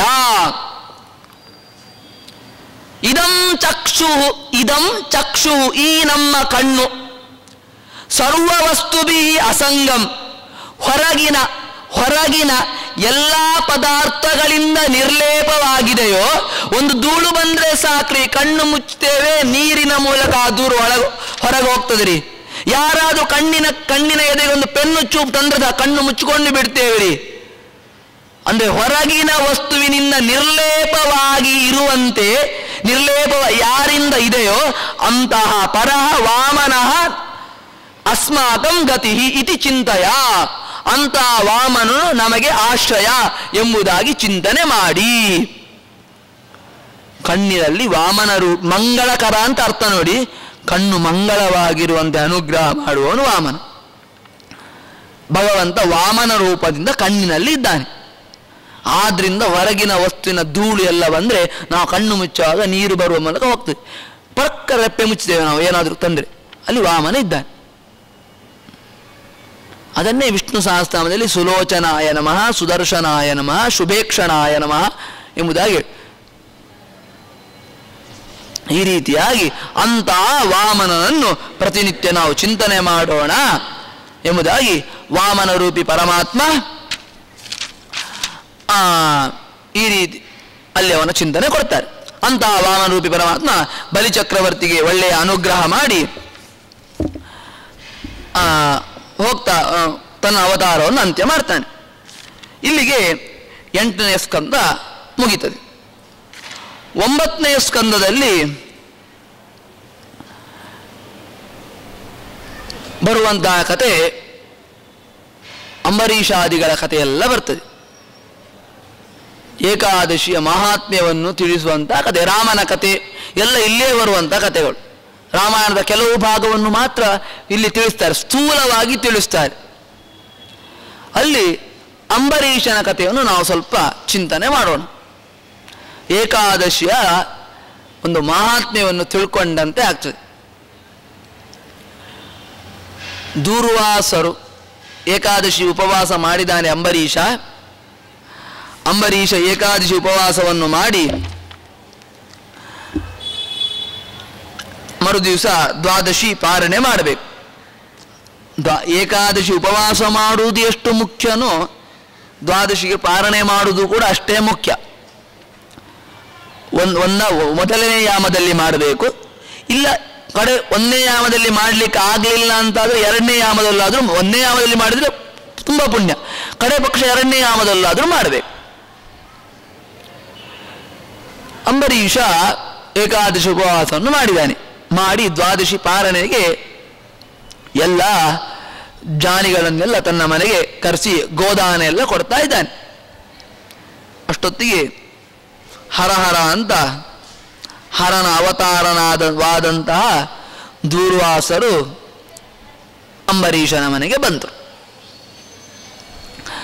ಅಷ್ಟೊತ್ತು ಅಂಬರೀಷನ ಮಾ ಉಪ ಏಕಾದಶಿಯ ಮಹಾತ್ಮ್ಯವನ್ನು ತೋರಿಸುವುದಕ್ಕೋಸ್ಕರ ದೂರ್ವಾಸರು ಬಂದದ್ದು. ದೂರ್ವಾಸರಿಗೂ ದೇವ ಏಕಾದಿ ಉಪವಾಸವನ್ನು ಮಾಡುವವರೇ ಅವರು. ಅದರಿಂದ ನ ಆ ಏಕಾದಶಿಯ ಮಹತ್ವವನ್ನು ದೇವತಾ ಸಂಕಲ್ಪಕ್ಕೆ ಅನುಗುಣವಾಗಿ ದೂರ್ವಾಸರು ಬಂದರು. ಯಾಕೆ? ಅಲ್ಲಿ ಒಂದು ಮೊದಲು ಹೇಳ್ತಾರೆ ಆಚಾರ್ಯ ಮದ್ದೂರು. ಇದು ದೇವರ ಕಥೆ ಅಲ್ಲ. ಇಷ್ಟೊತ್ತಾದ್ರೆ ದೇವರ ಕಥೆಯಲ್ಲ ಬಂತು. ಇದು ದೇವರ ಕಥೆ ಅಲ್ಲ. ಅಂಬರೀಷ ದೇವರ? ದೇವರ ಕಥೆ ಅಲ್ಲ. ಇತರರ ಕಥೆ ಯಾಕೆ ಹೇಳುದು? ಇತರ ಕಥೆ ಅಗತ್ಯ ಏನು? ಭಾಗವತ ಹೇಳಿದ್ರೆ ದೇವರ ಕಥೆಯನ್ನು ಹೇಳಲಿಕ್ಕೆ ಹೊರಟದ್ದಲ್ವಾ? ಇತರರ ಕಥೆ ಯಾಕೆ ಹೇಳ್ತಾರೆ ಇಲ್ಲಿ? ಇಲ್ಲಿ ಅದನ್ನೇ ಹೇಳಿ, ಈ ನವಮಸ್ಕಂದದಲ್ಲಿ ಹೆಚ್ಚುಂಟಲ್ವಾ? ರಾಜರ ಬಗ್ಗೆ ಎಲ್ಲ ಯಾಕೆ ಹೇಳ್ತಾರೆ? ಕೇಳಿದ್ರೆ ವೈಷ್ಣವಾನಾಂತು ಚರಿತಂ ವಿಷ್ಣುದ್ರೇಕಾಯ ಕಥ್ಯತೆ. ವೈಷ್ಣವರಂದ್ರೆ ವಿಷ್ಣು, ವಿಷ್ಣುವಿನ ಭಕ್ತರ ಕಥೆಯನ್ನು ಯಾಕೆ ಹೇಳುವುದು ಹೇಳಿದರೆ, ಅದು ಭಗವಂತನ ಮಹಿಮೆಯ ದ್ಯೋತಕವಾಗಿ ಭಗವಂತನ ಮಹಿಮೆ ಅಂದ್ರೆ ವಿಷ್ಣು ಭಕ್ತರು ಭಗವಂತನ ಭಗವಂತ ಅನುಗ್ರಹದಿಂದ ಇಷ್ಟೆಲ್ಲ ಮಾಡಿದ್ರು ಎಂಬುದನ್ನು ತೋರಿಸುವುದಕ್ಕೋಸ್ಕರ ವಿಷ್ಣು ಭಕ್ತರ ಕಥೆಯನ್ನು ಹೇಳುವಂಥದ್ದು. ಅದರಿಂದ ಭಗವಂತನ ಸರ್ವೋತ್ತಮತ್ವವೇ ನಮಗೆ ತಿಳಿತದೆ ಇದಕ್ಕೋಸ್ಕರ ವಿಷ್ಣು ಭಕ್ತರ ಕಥೆಯನ್ನು ಹೇಳುವಂಥದ್ದು. ಅಲ್ಲಿ ಅಂಬರೀಷ ದುರ್ವಾಸರು ಬಂದರು. ನಂದು ಸ್ನಾನ, ಜಪ ಏನು ಆಗಲಿಲ್ಲ. ನಾನು ಸ್ನಾನ ಮಾಡಿಕೊಂಡು ಬರ್ತೇನೆ ಅಂತ ಹೇಳಿದ್ರು. ಆಯ್ತು ಅಂತ ಅಂಬರೀಷ ನಿಂತ, ಆಗಲಿ, ಬರಲಿ ಅವರು ಅಂತ. ಬಂದ್ರು. ಬರಲೇ ಇಲ್ಲ, ಹೋದವರು ಬರಬೇಕಾ ಬೇಡ. ಬರಲೇ ಇಲ್ಲ.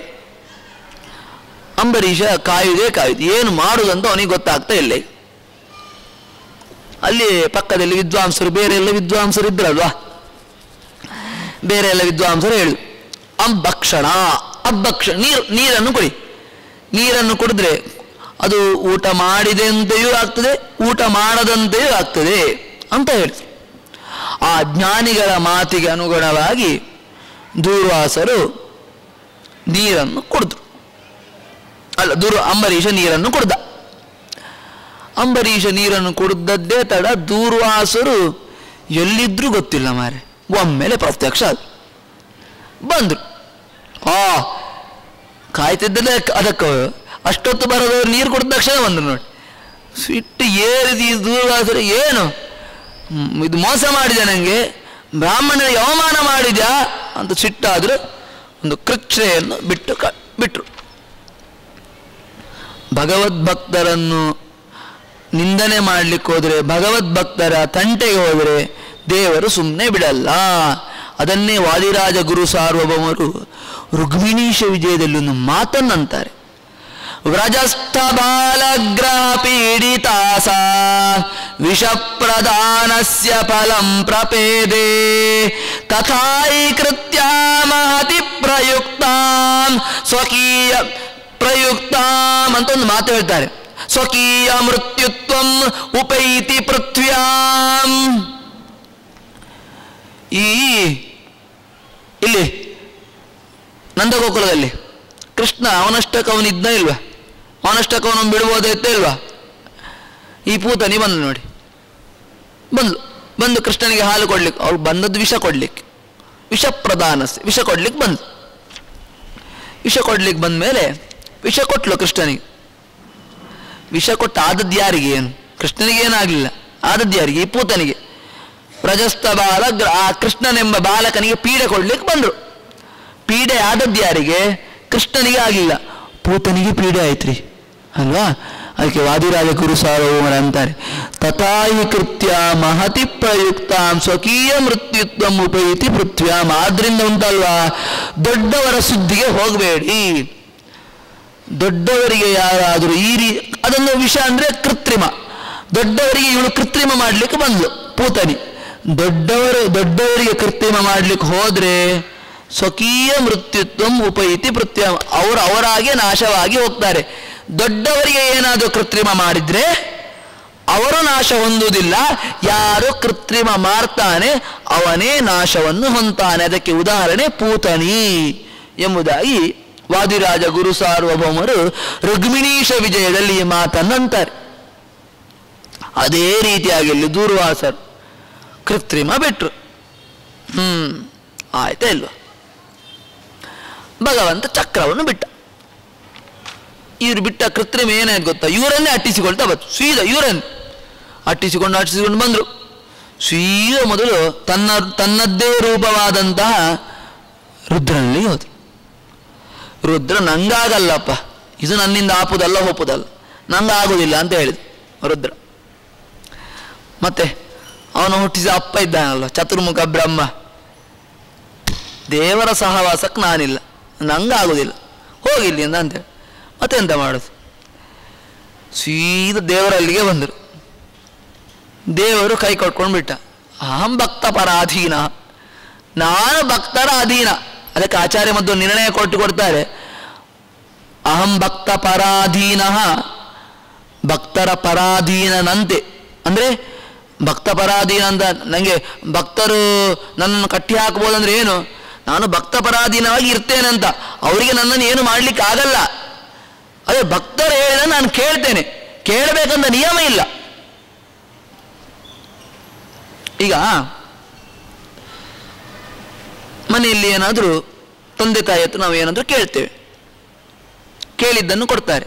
ಕೊಡಬೇಕಂದ ನಿಯಮ ಉಂಟಾ? ಅವರಿಗೆ ಇಷ್ಟ. ಅವರ ಹಣ ಬೇಕಾದ್ರೆ ಕೊಡ್ಬೋದು ಬಿಟ್ಟರೆ ಬಿಡ್ಬೋದು. ಆದರೂ ಕೊಡ್ತಾರೆ ಯಾಕೆ? ಮಕ್ಕಳ ಮೇಲಿನ ಪ್ರೀತಿಯಿಂದ. ಅಲ್ವಾ? ಕೊಡ್ಬೇಕಂತ ನಿಯಮ ಇಲ್ಲ. ಕೇಳುವರು, ಯಾರು ಅವ್ರದ್ದು ಹಣ ಅವ್ರ ಆಸ್ತಿ ಅವ್ರದ್ದು ಬಿಟ್ಟದ್ದು. ಕೊಟ್ರೆ ಕೊಡ್ಲಿ, ಬಿಟ್ರೆ ಬಿಡ್, ಬಿಡ್ಬೋದು ಅವ್ರು. ಆದರೂ ಕೊಡ್ತಾರೆ ಯಾರೇ ಮಕ್ಕಳ ಮೇಲಿನ ಪ್ರೀತಿಯಿಂದ. ಹೇಗೋ? ಹಾಗೆ. ಭಗವಂತ ಭಕ್ತ ಪರಾಧೀನ ಅಂದ್ರೆ ಭಕ್ತರ ಮೇಲೆ ಪ್ರೀತಿ ಅವನಿಗೆ. ಅದಕ್ಕೋಸ್ಕರ ಭಕ್ತರು ಹೇಗೆ ಹೇಳ್ತಾರೆ, ಹಾಗೆ ಮಾಡ್ತಾನೆ ಹೊರತು ಹಾಗೆ ಮಾಡ್ಬೇಕಂತ ನಿಯಮ ಇಲ್ಲ. ಅರ್ಥ ಆಯ್ತಾ? ಈ ರೀತಿಯಾಗಿ. ಈ ರೀತಿಯಾಗಿ ನಾನು ಭಕ್ತ ಪರಾಧೀನ ಅಂತ ಕೈ ಕಟ್ಕೊಂಡ, ಹೋಗು, ನೀನು ಅಂಬರೀಷನ ಹತ್ರ ಈ ನೀನು ಅಂಬರೀಷನ ಹತ್ರನೇ ಹೋಗ್ಬೇಕಂತ ಹೇಳಿ. ಈ ದುರ್ವಾಸರು ಮತ್ತೆ ಅಂಬರೀಷನ ಹತ್ರನೇ ಬಂದರು. ಬಂದು ಅದು ಕೃತ್ರಿಮ ಓಡಿಸ್ತಾ ಬರ್ತಾನೆ ಅಂಬರೀಷನ ಕಾಲು ಹಿಡಿದು. ಅಂಬರೀಷನ ಕಾಲು ಹಿಡಿದ ಮೇಲೆ ಅಂಬರೀಷ ಪ್ರಾರ್ಥನೆ ಮಾಡಿದ, ಆ ಸುದರ್ಶನ ಚಕ್ರ ವಾಪಸ್ ಅಲ್ಲಿಗೆ ಹೋಯ್ತು. ಅಲ್ಲಿ ದುರ್ವಾಸರು ಅವ್ರಿಗೆ ಏನೂ ಆಗಲಿಲ್ಲ. ಮತ್ತೆ ದುರ್ವಾಸರು ಕ್ಷಮೆಯಾಚನೆಯನ್ನು ಮಾಡಿದ್ರು. ಇಲ್ಲಿ ಏನು ತಿಳ್ಕೊಳ್ಬೇಕು ಹೇಳಿದ್ರೆ ದೂರ್ವಾಸರಿಗೆ ಏನು? ಅಂಬರೀಷ ಅಂತ ಗೊತ್ತು. ಆದರೆ ಆ ಏಕಾದಶಿಯ ಮಹಾತ್ಮೆ ಅವನು ಏಕಾದಶಿ ಉಪವಾಸ ಮಾಡಿದಲ್ಲ, ಆ ಏಕಾದಶಿ ಉಪವಾಸ ಮಾಡಿದವರಿಗೆ ತೊಂದರೆ ಕೊಡ್ಲಿಕ್ಕೆ ಹೋದ್ರೆ, ಮತ್ತೆ ವಿಷ್ಣು ಭಕ್ತನಾದವನಿಗೆ ತೊಂದರೆ ಕೊಡ್ಲಿಕ್ಕೆ ಹೋದ್ರೆ ಭಗವಂತ ಸುಮ್ಮನೆ ಇರಲ್ಲ. ಆದ್ರಿಂದ ಜೀವನದಲ್ಲಿ ನಾವು ಯಾವ ಉಪವಾಸವನ್ನು ಮಾಡುತ್ತೇವೋ ಇಲ್ಲೋ ಗೊತ್ತಿಲ್ಲ ರೀ. ಏಕಾದಶಿ ಉಪವಾಸವನ್ನು ನಿಂತು ಖಂಡಿತವಾಗಿಯೂ ನಾವು ಜೀವನದಲ್ಲಿ ಮಾಡಬೇಕು. ನಮ್ಮಿಂದ ಎಷ್ಟು ಸಾಧ್ಯವೋ ಅಷ್ಟನ್ನು ನಾವು ಪೂರ್ತಿಯಾಗಿ ಮಾಡಬೇಕು. ಇದನ್ನೇ ಅದು ಒಳ್ಳೆಯ ರೀತಿಯಾಗಿ ಆಗಬೇಕಲ್ಲ ಉಪವಾಸ? ಒಳ್ಳೆಯ ರೀತಿಯಾಗಿ ಆಗಬೇಕಲ್ಲ? ಅದಕ್ಕೆ ಭಗವಂತನನ್ನು ಸೂರತ ಅಂತ ಉಪಾಸನೆ ಮಾಡೋಣ. ಶ್ರೀ ಸೂರತಾಯ ನಮಃ. ಶ್ರೀ ಸೂರತ ಅಂದ್ರೆ ಏನ್ ಗೊತ್ತಾ? ವ್ರತವನ್ನು ಶೋಭನವಾಗು, ಶೋಭನವಾಗುವಂತೆ ಯಾರ ಅನುಗ್ರಹದಿಂದ ಆಗ್ತದೋ ಯಸ್ಮಾಸ ಶೋಭನ ವ್ರತಂ ಯಸ್ಮಾಸ ವ್ರತವು ಶೋಭನವಾಗುವಂತೆ ಯಾರ ಅನುಗ್ರಹದಿಂದ ವ್ರತ ಶೋಭನವಾಗುತ್ತದೋ ಅಂತವ. ಭಗವಂತನು ಸೂರತ, ಅಂಬರೀಷ ಪ್ರಾಯ ಸೂರತ ನಾಮ ಭಗವಂತನು ಉಪಾಸನೆ ಮಾಡಿದ್ನೋ ಏನು? ವ್ರತ ಶೋಭನವಾಗಿ ಅದರಿಂದ ಏಕಾದಶಿ ಉಪವಾಸವನ್ನು ಪ್ರಾರಂಭಿಸುವಾಗ ಪ್ರಾತಃ ಕಾಲದಲ್ಲಿ ಅಥವಾ ದಶಮಿ ದಿವಸನೇ ಭಗವಂತನು ಸೂರತ ಎಂಬುದಾಗಿ ಉಪಾಸನೆ ಮಾಡೋಣ.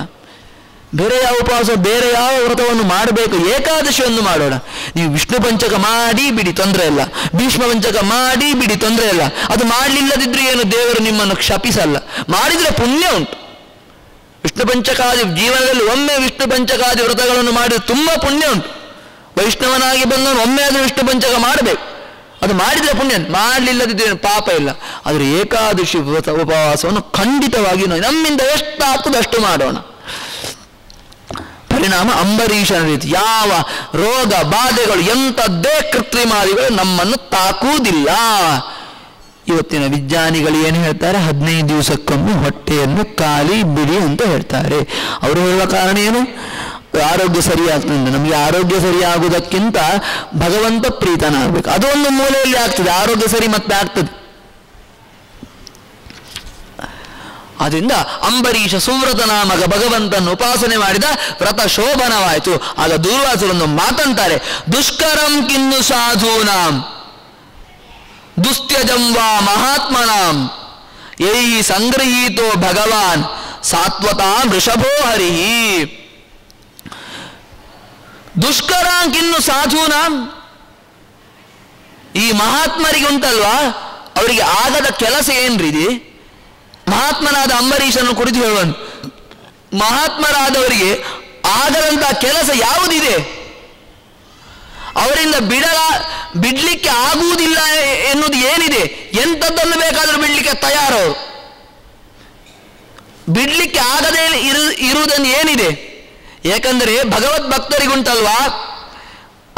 ವೃಷಭೋ ಹರಿ, ಭಗವದ್ ಭಕ್ತರಿಗೆ ಅವರು ಶ್ರೀಹರಿಯೇ, ಶ್ರೀಹರಿಯನ್ನೇ ಅವರು ತಮ್ಮ ಯಾವತ್ತೂ ಕೂಡ ಆರಾಧನೆ ಮಾಡಿಕೊಂಡು ಬಂದಿರ್ತಾರೆ. ಆ ಶ್ರೀಹರಿಯನ್ನೇ ತನ್ನ ವಶ ಮಾಡಿಕೊಂಡಿರ್ತಾರೆ. ಯಾವುದರಿಂದ? ಭಕ್ತಿಯಿಂದ. ಭಕ್ತಿಯಿಂದ ಶ್ರೀಹರಿಯನ್ನೇ ತನ್ನ ವಶ ಮಾಡಿಕೊಂಡಿರ್ತಾರೆ. ಅವರು ಯಾವುದನ್ನು ಬಿಡು, ಯಾವುದನ್ನು ಬೇಕಾದರೂ ಬಿಡ್ತಾರೆ, ಯಾವುದನ್ನು ಬೇಕಾದರೂ ಮಾಡ್ತಾರೆ. ಅವರಿಗೆ ಮಾ, ಅವರಿಂದ ಮಾಡಲಿಕ್ಕೆ ಆಗದೇ ಇರುವಂತ ಕೆಲಸ ಯಾವುದೂ ಕೂಡ ಇಲ್ಲ. ಎಲ್ಲ ಕೆಲಸವನ್ನೂ ಕೂಡ ಮಾಡ್ತಾರೆ ಅಂತ ದೂರ್ವಾಸರು ಹೇಳಿದ ಹೇಳಿದರು. ಎಲ್ಲವನ್ನು ಕೂಡ ಮಾಡ್ತಾರೆ. ಈ ರೀತಿಯಾಗಿ ಆದ್ದರಿಂದ ದುರ್ವಾಸ ಹೇಳ್ತಾರೆ, ವಿಷ್ಣು ಭಕ್ತರ ಸುದ್ದಿಗೆ ಹೋಗಬೇಡಿ. ಅವರು ಏನನ್ನಾದರೂ ಮಾಡಲಿಕ್ಕೆ ತಯಾರು. ಏನನ್ನು ಬೇಕಾದರೂ ಬಿಡ್ಲಿಕ್ಕೂ ತಯಾರು ಎಂಬುದಾಗಿ ಹೇಳ್ತಾರೆ. ಈ ರೀತಿಯಾಗಿ ಹೇಳಿ, ಅಂತಹ ಅಂಬರೀಷನನ್ನು ದೂರ್ವಾಸರು ಬಟ್ಟ, ದೂರ್ವಾಸರು ಬಿಟ್ಟ ಕೃತ್ರಿಮೆಯಿಂದ ಕಾಪಾಡಿದ್ಯಾರು? ಭಗವಂತ ಕಾಪಾಡಿದ. ಅದನ್ನೇ ಭಗವಂತನನ್ನು ಭಕ್ತ ವತ್ಸಲಾಯ ನಮಃ. ಭಕ್ತರನ್ನು, ಭಕ್ತನಾದ ಅಂಬರೀಷನನ್ನು ವತ್ಸವತು ಮಗುವಿನಂತೆ ಭಗವಂತ ಸ್ವೀ ಮಗನಂತೆ ಸ್ವೀಕಲಾತಿ ಇದು ಮಾಡ್ತಾನೆ, ಸ್ವೀಕಾರ ಮಾಡ್ತಾನೆ. ಭಕ್ತ ವತ್ಸಲಾಯ ನಮ. ಭಗವಂತ ನಮ್ಮನ್ನು ಸ್ವೀಕಾರ ಮಾಡಬೇಕಂತ ನಾವು ನೀವು ಅಪೇಕ್ಷೆ ಪಡ್ತೇವಲ್ವಾ? ಭಗವಂತನ್ನು ಭಕ್ತ ವತ್ಸಲ ಎಂಬುದಾಗಿ ಉಪಾಸನೆ ಮಾಡೋಣ. ಶ್ರೀ ಭಕ್ತ ವತ್ಸಲಾಯ ನಮಃ. ಶ್ರೀ ಈ ರೀತಿಯಾಗಿ ಆ ಅಂಬರೀಷನನ್ನು ಭಗವಂತ ರಕ್ಷಣೆ ಮಾಡಿದ. ಮುಂದೆ ತುಂಬ ಕಥೆಗಳು ಬರ್ತದೆ. ಅಲ್ಲಿ ರಾಮಾಯಣದ ಕತೆ ಚೂರನ್ನು ಸ್ವಲ್ಪ ಹೇಳ್ತಾರೆ. ರಾಮ ದಶರಥನ ಮಗನಾಗಿ ಹುಟ್ಟಿದ ನಾಲ್ಕು ಜನ ಮಕ್ಕಳು ರಾಮ, ಲಕ್ಷ್ಮಣ, ಭರತ, ಶತ್ರುಘ್ನ. ರಾಮ ಎರಡನೇವ ಲಕ್ಷ್ಮಣ, ಮೂರನೇವ ಭರತ, ನಾಲ್ಕನೇವ ಶತ್ರುಘ್ನ. ಪಟ್ಟದ ರಾಣಿಯರು ಸ್ವಲ್ಪ ವ್ಯತ್ಯಾಸ. ರಾಮ ರಾಮ ಆದ್ಮೇಲೆ ಹುಟ್ಟಿದ್ದು ನಿಜ ಕೈಕೆ, ಆದ್ಮೇಲೆ ಸುಮಿತ್ರೆ. ಆದರೆ ಹುಟ್ಟುವಾಗ ಮಾತ್ರ ರಾಮ, ಲಕ್ಷ್ಮಣ, ಭರತ, ಶತ್ರುಘ್ನ. ಅದು ಪಾಯಸದ ಕ್ರಮದಿಂದ ವ್ಯತ್ಯಾಸ ಆಯಿತು. ಏನು ಗೊತ್ತಾ? ಇಷ್ಟೇ. ರಾಮ ಈ ಮಕ್ಕಳಾಗಲಿ ಅಂತ ಇದು ಮಾಡಿ, ಯಾಗ ಮಾಡಿದ. ಯಾರು? ಪುತ್ರ ಕಾಮೇಷ್ಟಿ ಯಾಗ ಮಾಡಿದ, ದಶರಥ. ಯಾಗ ಮಾಡಿ ಪಾಯಸವನ್ನು ಕೊಟ್ಟ. ಪಾಯಸವನ್ನು ಕೊಟ್ಟ ಮೇಲೆ ಪಾಯಸ ಒಂದು ತಂಬಿಗೆಯಲ್ಲಿ ಕೊಟ್ಟ. ಅದರ ಅರ್ಧ ಪಾಲನ್ನು ಕೌಸಲ್ಯೇ ಕೊಟ್ಟ. ಅದರಿಂದ ಕೌಸಲ್ಯಲ್ಲಿ ಒಳ್ಳೆ ಅಂದರೆ ಭಗವಂತನೇ ಬಂದ, ಅವತಾರ ಮಾಡಿ ಬಂದ. ಎರಡನೇ ಪಾಲನ್ನು ಏನು ಮಾಡಿದ ಕೇಳಿದರೆ, ಸುಮಿತ್ರೆಗೆ ಕೊಟ್ಟ. ಲ ಕೈ ಕೊಡಲಿಲ್ಲ ಸುಮಿತ್ರೆಗೆ ಹೋಗಿ ಕೊಟ್ಟ. ಯಾಕೆ ಹೇಳಿದ್ರೆ ಅಲ್ಲಿ ತುಂಬ ಕಥೆಗಳೆಲ್ಲ ಬರ್ತದೆ. ಅದು ಅದೆಲ್ಲ ಹೇಳ್ತಾ ಈಗ ರಾಮ, ನಾವು ದಶಮಸ್ಕಂದಕ್ಕೆ ನಾಳೆ ಕಾಲಿಡ್ಲಿಕ್ಕೆ ಆಗಲ್ಲ ರಾಮಾಯಣದ ಈ ಪಾಯಸದ ಕಥೆಯಲ್ಲೇ ಇರಬೇಕಾಗ್ತದೆ? ಎರಡನೇ ಪಾಲನ್ನು ಸುಮಿತ್ರೆಗೆ ಕೊಟ್ಟ. ಮತ್ತೆ ಅಲ್ಲಿಗೆ ಏನಿದೆ? ಅರ್ಧ, ಅರ್ಧದಲ್ಲಿ ಸ್ವಲ್ಪ ಪುನಃ ಅರ್ಧ ಮಾಡಿ ಇದು ಕೊಟ್ಟ. ಸುಮಿತ್ರೆ ಕೊಟ್ಟ. ಅರ್ಧದಲ್ಲಿ ಅರ್ಧ ಹೋಗಿ ಆಯ್ತು. ಇನ್ನು ಅರ್ಧ ಉಳಿದಿದೆ. ಅದರಲ್ಲಿ ಅರ್ಧ ಮಾಡಿ ಸುಮಿತ್ರೆ ಕೊಟ್ಟ. ಮತ್ತೆ ಏನು ಮಾಡುದು ಕೈಗೆ ಕೊಡ್ಲಿಲ್ಲ ಅಂದ್ರೆ ಸಮಸ್ಯೆ ಆಗ್ತದೆ. ಅದಕ್ಕೆ ಏನು ಮಾಡಿದ? ಆ ಇರುವ ಕಾಲಲ್ಲಿ ಪುನಃ ಕಾಲು ಮಾಡಿ, ಅದು ಭರತನಿಗೆ ಕೈ ಕೈ ಕೈ ಕೊಟ್ಟ. ಮತ್ತೆ ಪುನಃ ಸುಮಿತ್ರೆ ಕೊಟ್ಟ. ಈ ಅದರಿಂದ ಏನಾಯಿತು? ಸುಮಿತ್ರೆಯಲ್ಲಿ ಎರಡು ಮಕ್ಕಳು ಬಂತು ಕೈಕೇಯಲ್ಲಿ ಒಂದು. ಬರ ಅದರಿಂದ ರಾಮ ಎರಡನೆಯ ಲಕ್ಷ್ಮಣ ಮೂರನೆಯ ಭರತ ನಾಲ್ಕನೆಯ ಶತ್ರುಘ್ನ. ಈ ರೀತಿಯಾಗಿ ರಾಮ, ಲಕ್ಷ್ಮಣ, ಭರತ, ಶತ್ರುಘ್ನ. ರಾಮ, ಭರತ, ಲಕ್ಷ್ಮಣ, ಶತ್ರುಘ್ನ ಅಲ್ಲ. ಈ ರೀತಿಯಾಗಿ ಮಾಡಿ ಪಾಯಸ ವ್ಯವಸ್ಥೆಯನ್ನು ಮಾಡಿ ಇಂಥ ನಾಲ್ಕು ಮಕ್ಕಳು ಹುಟ್ಟಿದ್ರು. ಹುಟ್ಟಿದ ಮೇಲೆ ವಿಶ್ವಾಮಿತ್ರ ವಿಶ್ವಾಮಿತ್ರ ಯಜ್ಞದ ರಕ್ಷಣೆಗಾಗಿ ಆ ಮಕ್ಕಳನ್ನು ಕರ್ಕೊಂಡು ಹೋದರು. ಅಲ್ಲಿ ಮಾರೀಚ ಸುಭಾವವನ್ನು ಸಂಹಾರ ಮಾಡುವಂತಹ ಕತೆ. ಆ ಮಾರೀಚನನ್ನು ಸಂಹಾರ ಮಾಡಿದ, ಆ ಸುಭಾವವನ್ನು ಸಂಹಾರ ಮಾಡಿದ, ಮಾರೀಚನನ್ನು ಬಿಟ್ಟ ಯಾಕ ಯಾತಕ್ಕೋಸ್ಕರ ಹೇಳಿದ್ರೆ, ವಚೋ ವಿರಿಂಚಸ್ಯತು ಮಾನಯಾನ, ಬ್ರಹ್ಮದೇವರ ವರ ಇದ್ದದ್ರಿಂದ ಮತ್ತೆ ಪುನಃ ಅವನು ಸೀತಾ ಅಪಹರಣದಲ್ಲಿ ಅವನ ಪಾಪ ಆಗಬೇಕು. ಆ ಪಾಪ ಕಾರ್ಯ ಮಾಡಿದ, ಆಗ ಭಗವಂತ ಅವನನ್ನು ಕೊಂದ, ಆಗ ಬ್ರಹ್ಮದೇವರ ವರ ಇರಲಿಲ್ವಾ ಕೇಳಿದ್ರೆ ವರ ಇತ್ತು, ಆದರೆ ಅವನು ಜಿಂಕೆಯ ರೂಪದಲ್ಲಿ ಬಂದ. ಅವನು ವರ ಕೇಳಿದ್ದು ಮನುಷ್ಯ ರೂಪದಲ್ಲಿ ಜಿಂಕೆ ರೂಪದಲ್ಲಿ ವರ ಕೇಳಿದ್ದಲ್ಲ ಜಿಂಕೆ ರೂಪದಲ್ಲಿ ಬಂದ ಜಿಂಕೆ ರೂಪದಲ್ಲಿ ಬಂದದ್ದರಿಂದ ರಾಮ ಏನು ಮಾಡಿದ? ಅವನನ್ನು ಸಂಹಾರ ಮಾಡಿದ. ವಚೋ ವಿರಿಂಚಸ್ಯ ತು ಮಾನಯಾನ ಬ್ರಹ್ಮದೇವರ ವರವನ್ನು ಸತ್ಯನೇ ಮಾಡಿದ ಸುಳ್ಳು ಮಾಡಲಿಲ್ಲ. ಈ ರೀತಿ ಮಾರೀಚ ಸುಭಾವನ್ನು ಕೊಂದ. ಮುಂದೆ ಆ, ಸಂಹಾರ ಎಲ್ಲ ಸೀತಾ ಸ್ವಯಂವರ ಸೀತಾ ಸ್ವಯಂವರದಲ್ಲಿ ಶಿವಧನುಸ್ಸನ್ನು ಎತ್ತಿದ. ಪರಶುರಾಮ ದೇವರು ಬಂದರು. ಶಿವಧನುಸ್ಸನ್ನು ಎತ್ತಿ ರಾಮ ಸೀತೆಯನ್ನು ಮದುವೆಯಾದ, ಲಕ್ಷ್ಮಣ ಊರ್ಮಿಳೆಯನ್ನು ಮದುವೆಯಾದ ಭರತ ಶತ್ರುಘ್ನರು ಕೂಡ ಮದುವೆಯಾದರು. ಮದುವೆಯಾಗಿ ಬರ್ತಾ ಇರುವಾಗ ಬರ್ತಾ ಇರುವಾಗ ಪರಶುರಾಮ ದೇವರು ಬಂದರು. ಪರಶುರಾಮ ದೇವರು ಬಂದರು. ಯಾಕೆ ಬಂದರು? ರಾಮ, ನನ್ನ ಹಾಗೆ ವಿಷ್ಣು ಎಂಬುದನ್ನು ವಿಷ್ಣು ಎಂಬುದನ್ನು ಲೋಕಕ್ಕೆ ತಿಳಿಸುವುದಕ್ಕೋಸ್ಕರ ರಾಮ ಮನುಷ್ಯ ಅಲ್ಲ, ಅವನು ಸಾಕ್ಷಾತ್ ಮಹಾವಿಷ್ಣು ಎಂಬುದನ್ನು ಎಲ್ಲರಿಗೂ ತಿಳಿಸುವುದಕ್ಕೋಸ್ಕರ ರಾಮ್, ಪರಶುರಾಮ ದೇವರು ಬಂದರು. ಅತುಲ ಎಂಬ ರಾಕ್ಷಸ ಅವರ ಒಳಗೆ ಕೂತ್ಕೊಂಡಿದ್ದ, ಅವರನ್ನು, ಅವನನ್ನು ರಾಮ ಸಂಹಾರ ಮಾಡಿದ. ಅಲ್ಲಿ ಕೂಡ ಬ್ರಹ್ಮದೇವರವರನ್ನು ಸತ್ಯ ಮಾಡಿದ್ರಿ. ಅವನಿಗೆ ಕೂಡ ಬ್ರಹ್ಮದೇವರವಿರುತ್ತೆ ನಾನು ಯಾರಿಂದಲೂ ಸಾಯಬಾರ್ದಂತ. ಪರಶುರಾಮ ದೇವರು ಯಾವಾಗ ಸೋಲ್ತಾರೆ, ಆವಾಗ ನಾನು ಸಾಯ್ಬೇ ಸಾಯ್ಬೇಕಂತ ಒಂದು ವಾರ ಇತ್ತು. ಈ ಪರಶುರಾಮ ದೇವರ ಎದೆಗೆ ರಾಮ ಬಾಣ ಬಿಟ್ಟಲ್ವಾ? ರಾಮ ಬಿಡುವಾಗ ಅತುಲ ಹೊರಗೆ ಬಂದ. ಆಗ ಸತ್ತ. ಬ್ರಹ್ಮದೇವರವರ ಸತ್ ಸುಳ್ಳಾಗಲಿಲ್ವಾ ಅಂತ ಪ್ರಶ್ನೆ ಬರ್ಬೋದು. ಸುಳ್ಳಾಗಲಿಲ್ಲ ಯಾಕೆ ಗೊತ್ತಾ?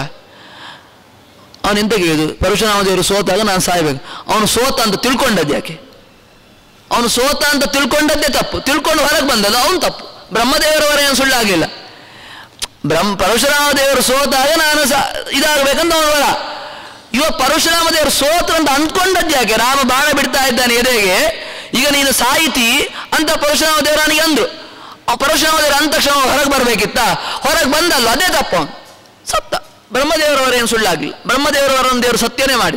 ಹೇಗಾದರೂ ಸತ್ಯ ಮಾಡ್ತಾನೆ ನನ್ನ ದೇವರು, ಒಟ್ಟು ಬ್ರಹ್ಮದೇವರವರನ್ನು ಸುಳ್ಳು ಮಾಡಬಾರ್ದು ಅವನಿಗೆ. ಅದೊಂದೊಂದು ಪಾಲಿಸಿ ಅವನು.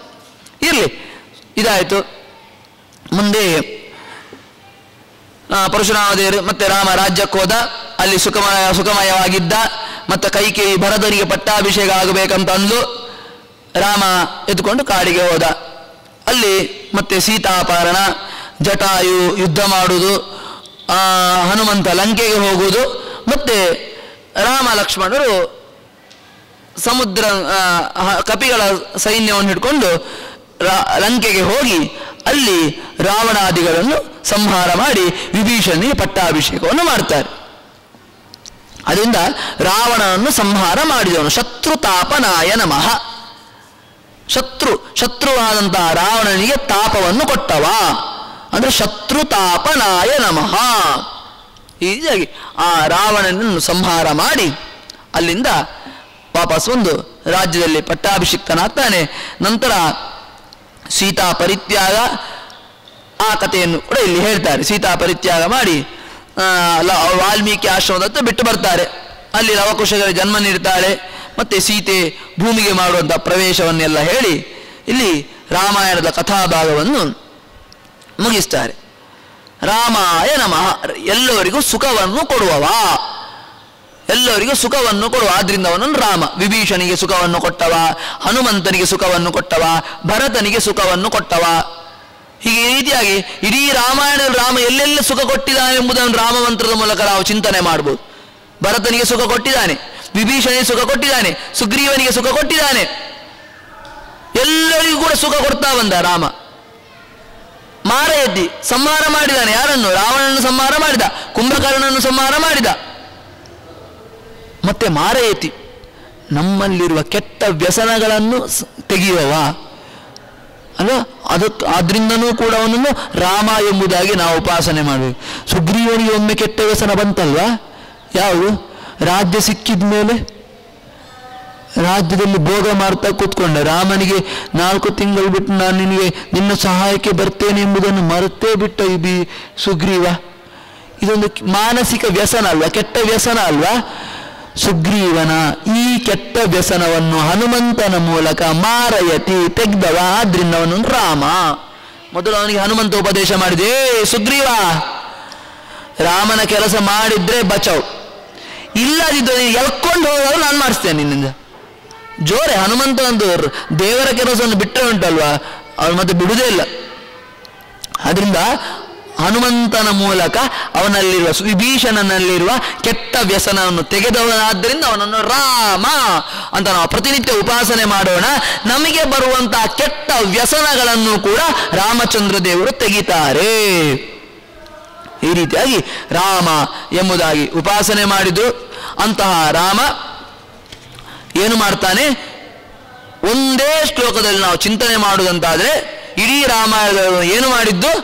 ಆಪದಾಂ ಅಪಹರ್ತಾರಂ. ಆಪತ್ತನ್ನು ಪರಿಹಾರ ಮಾಡುವುದು. ದಾತಾರಂ ಸರ್ವ ಸಂಪದಾಂ ಸಂಪತ್ತನ್ನು ಕೊಡುವ.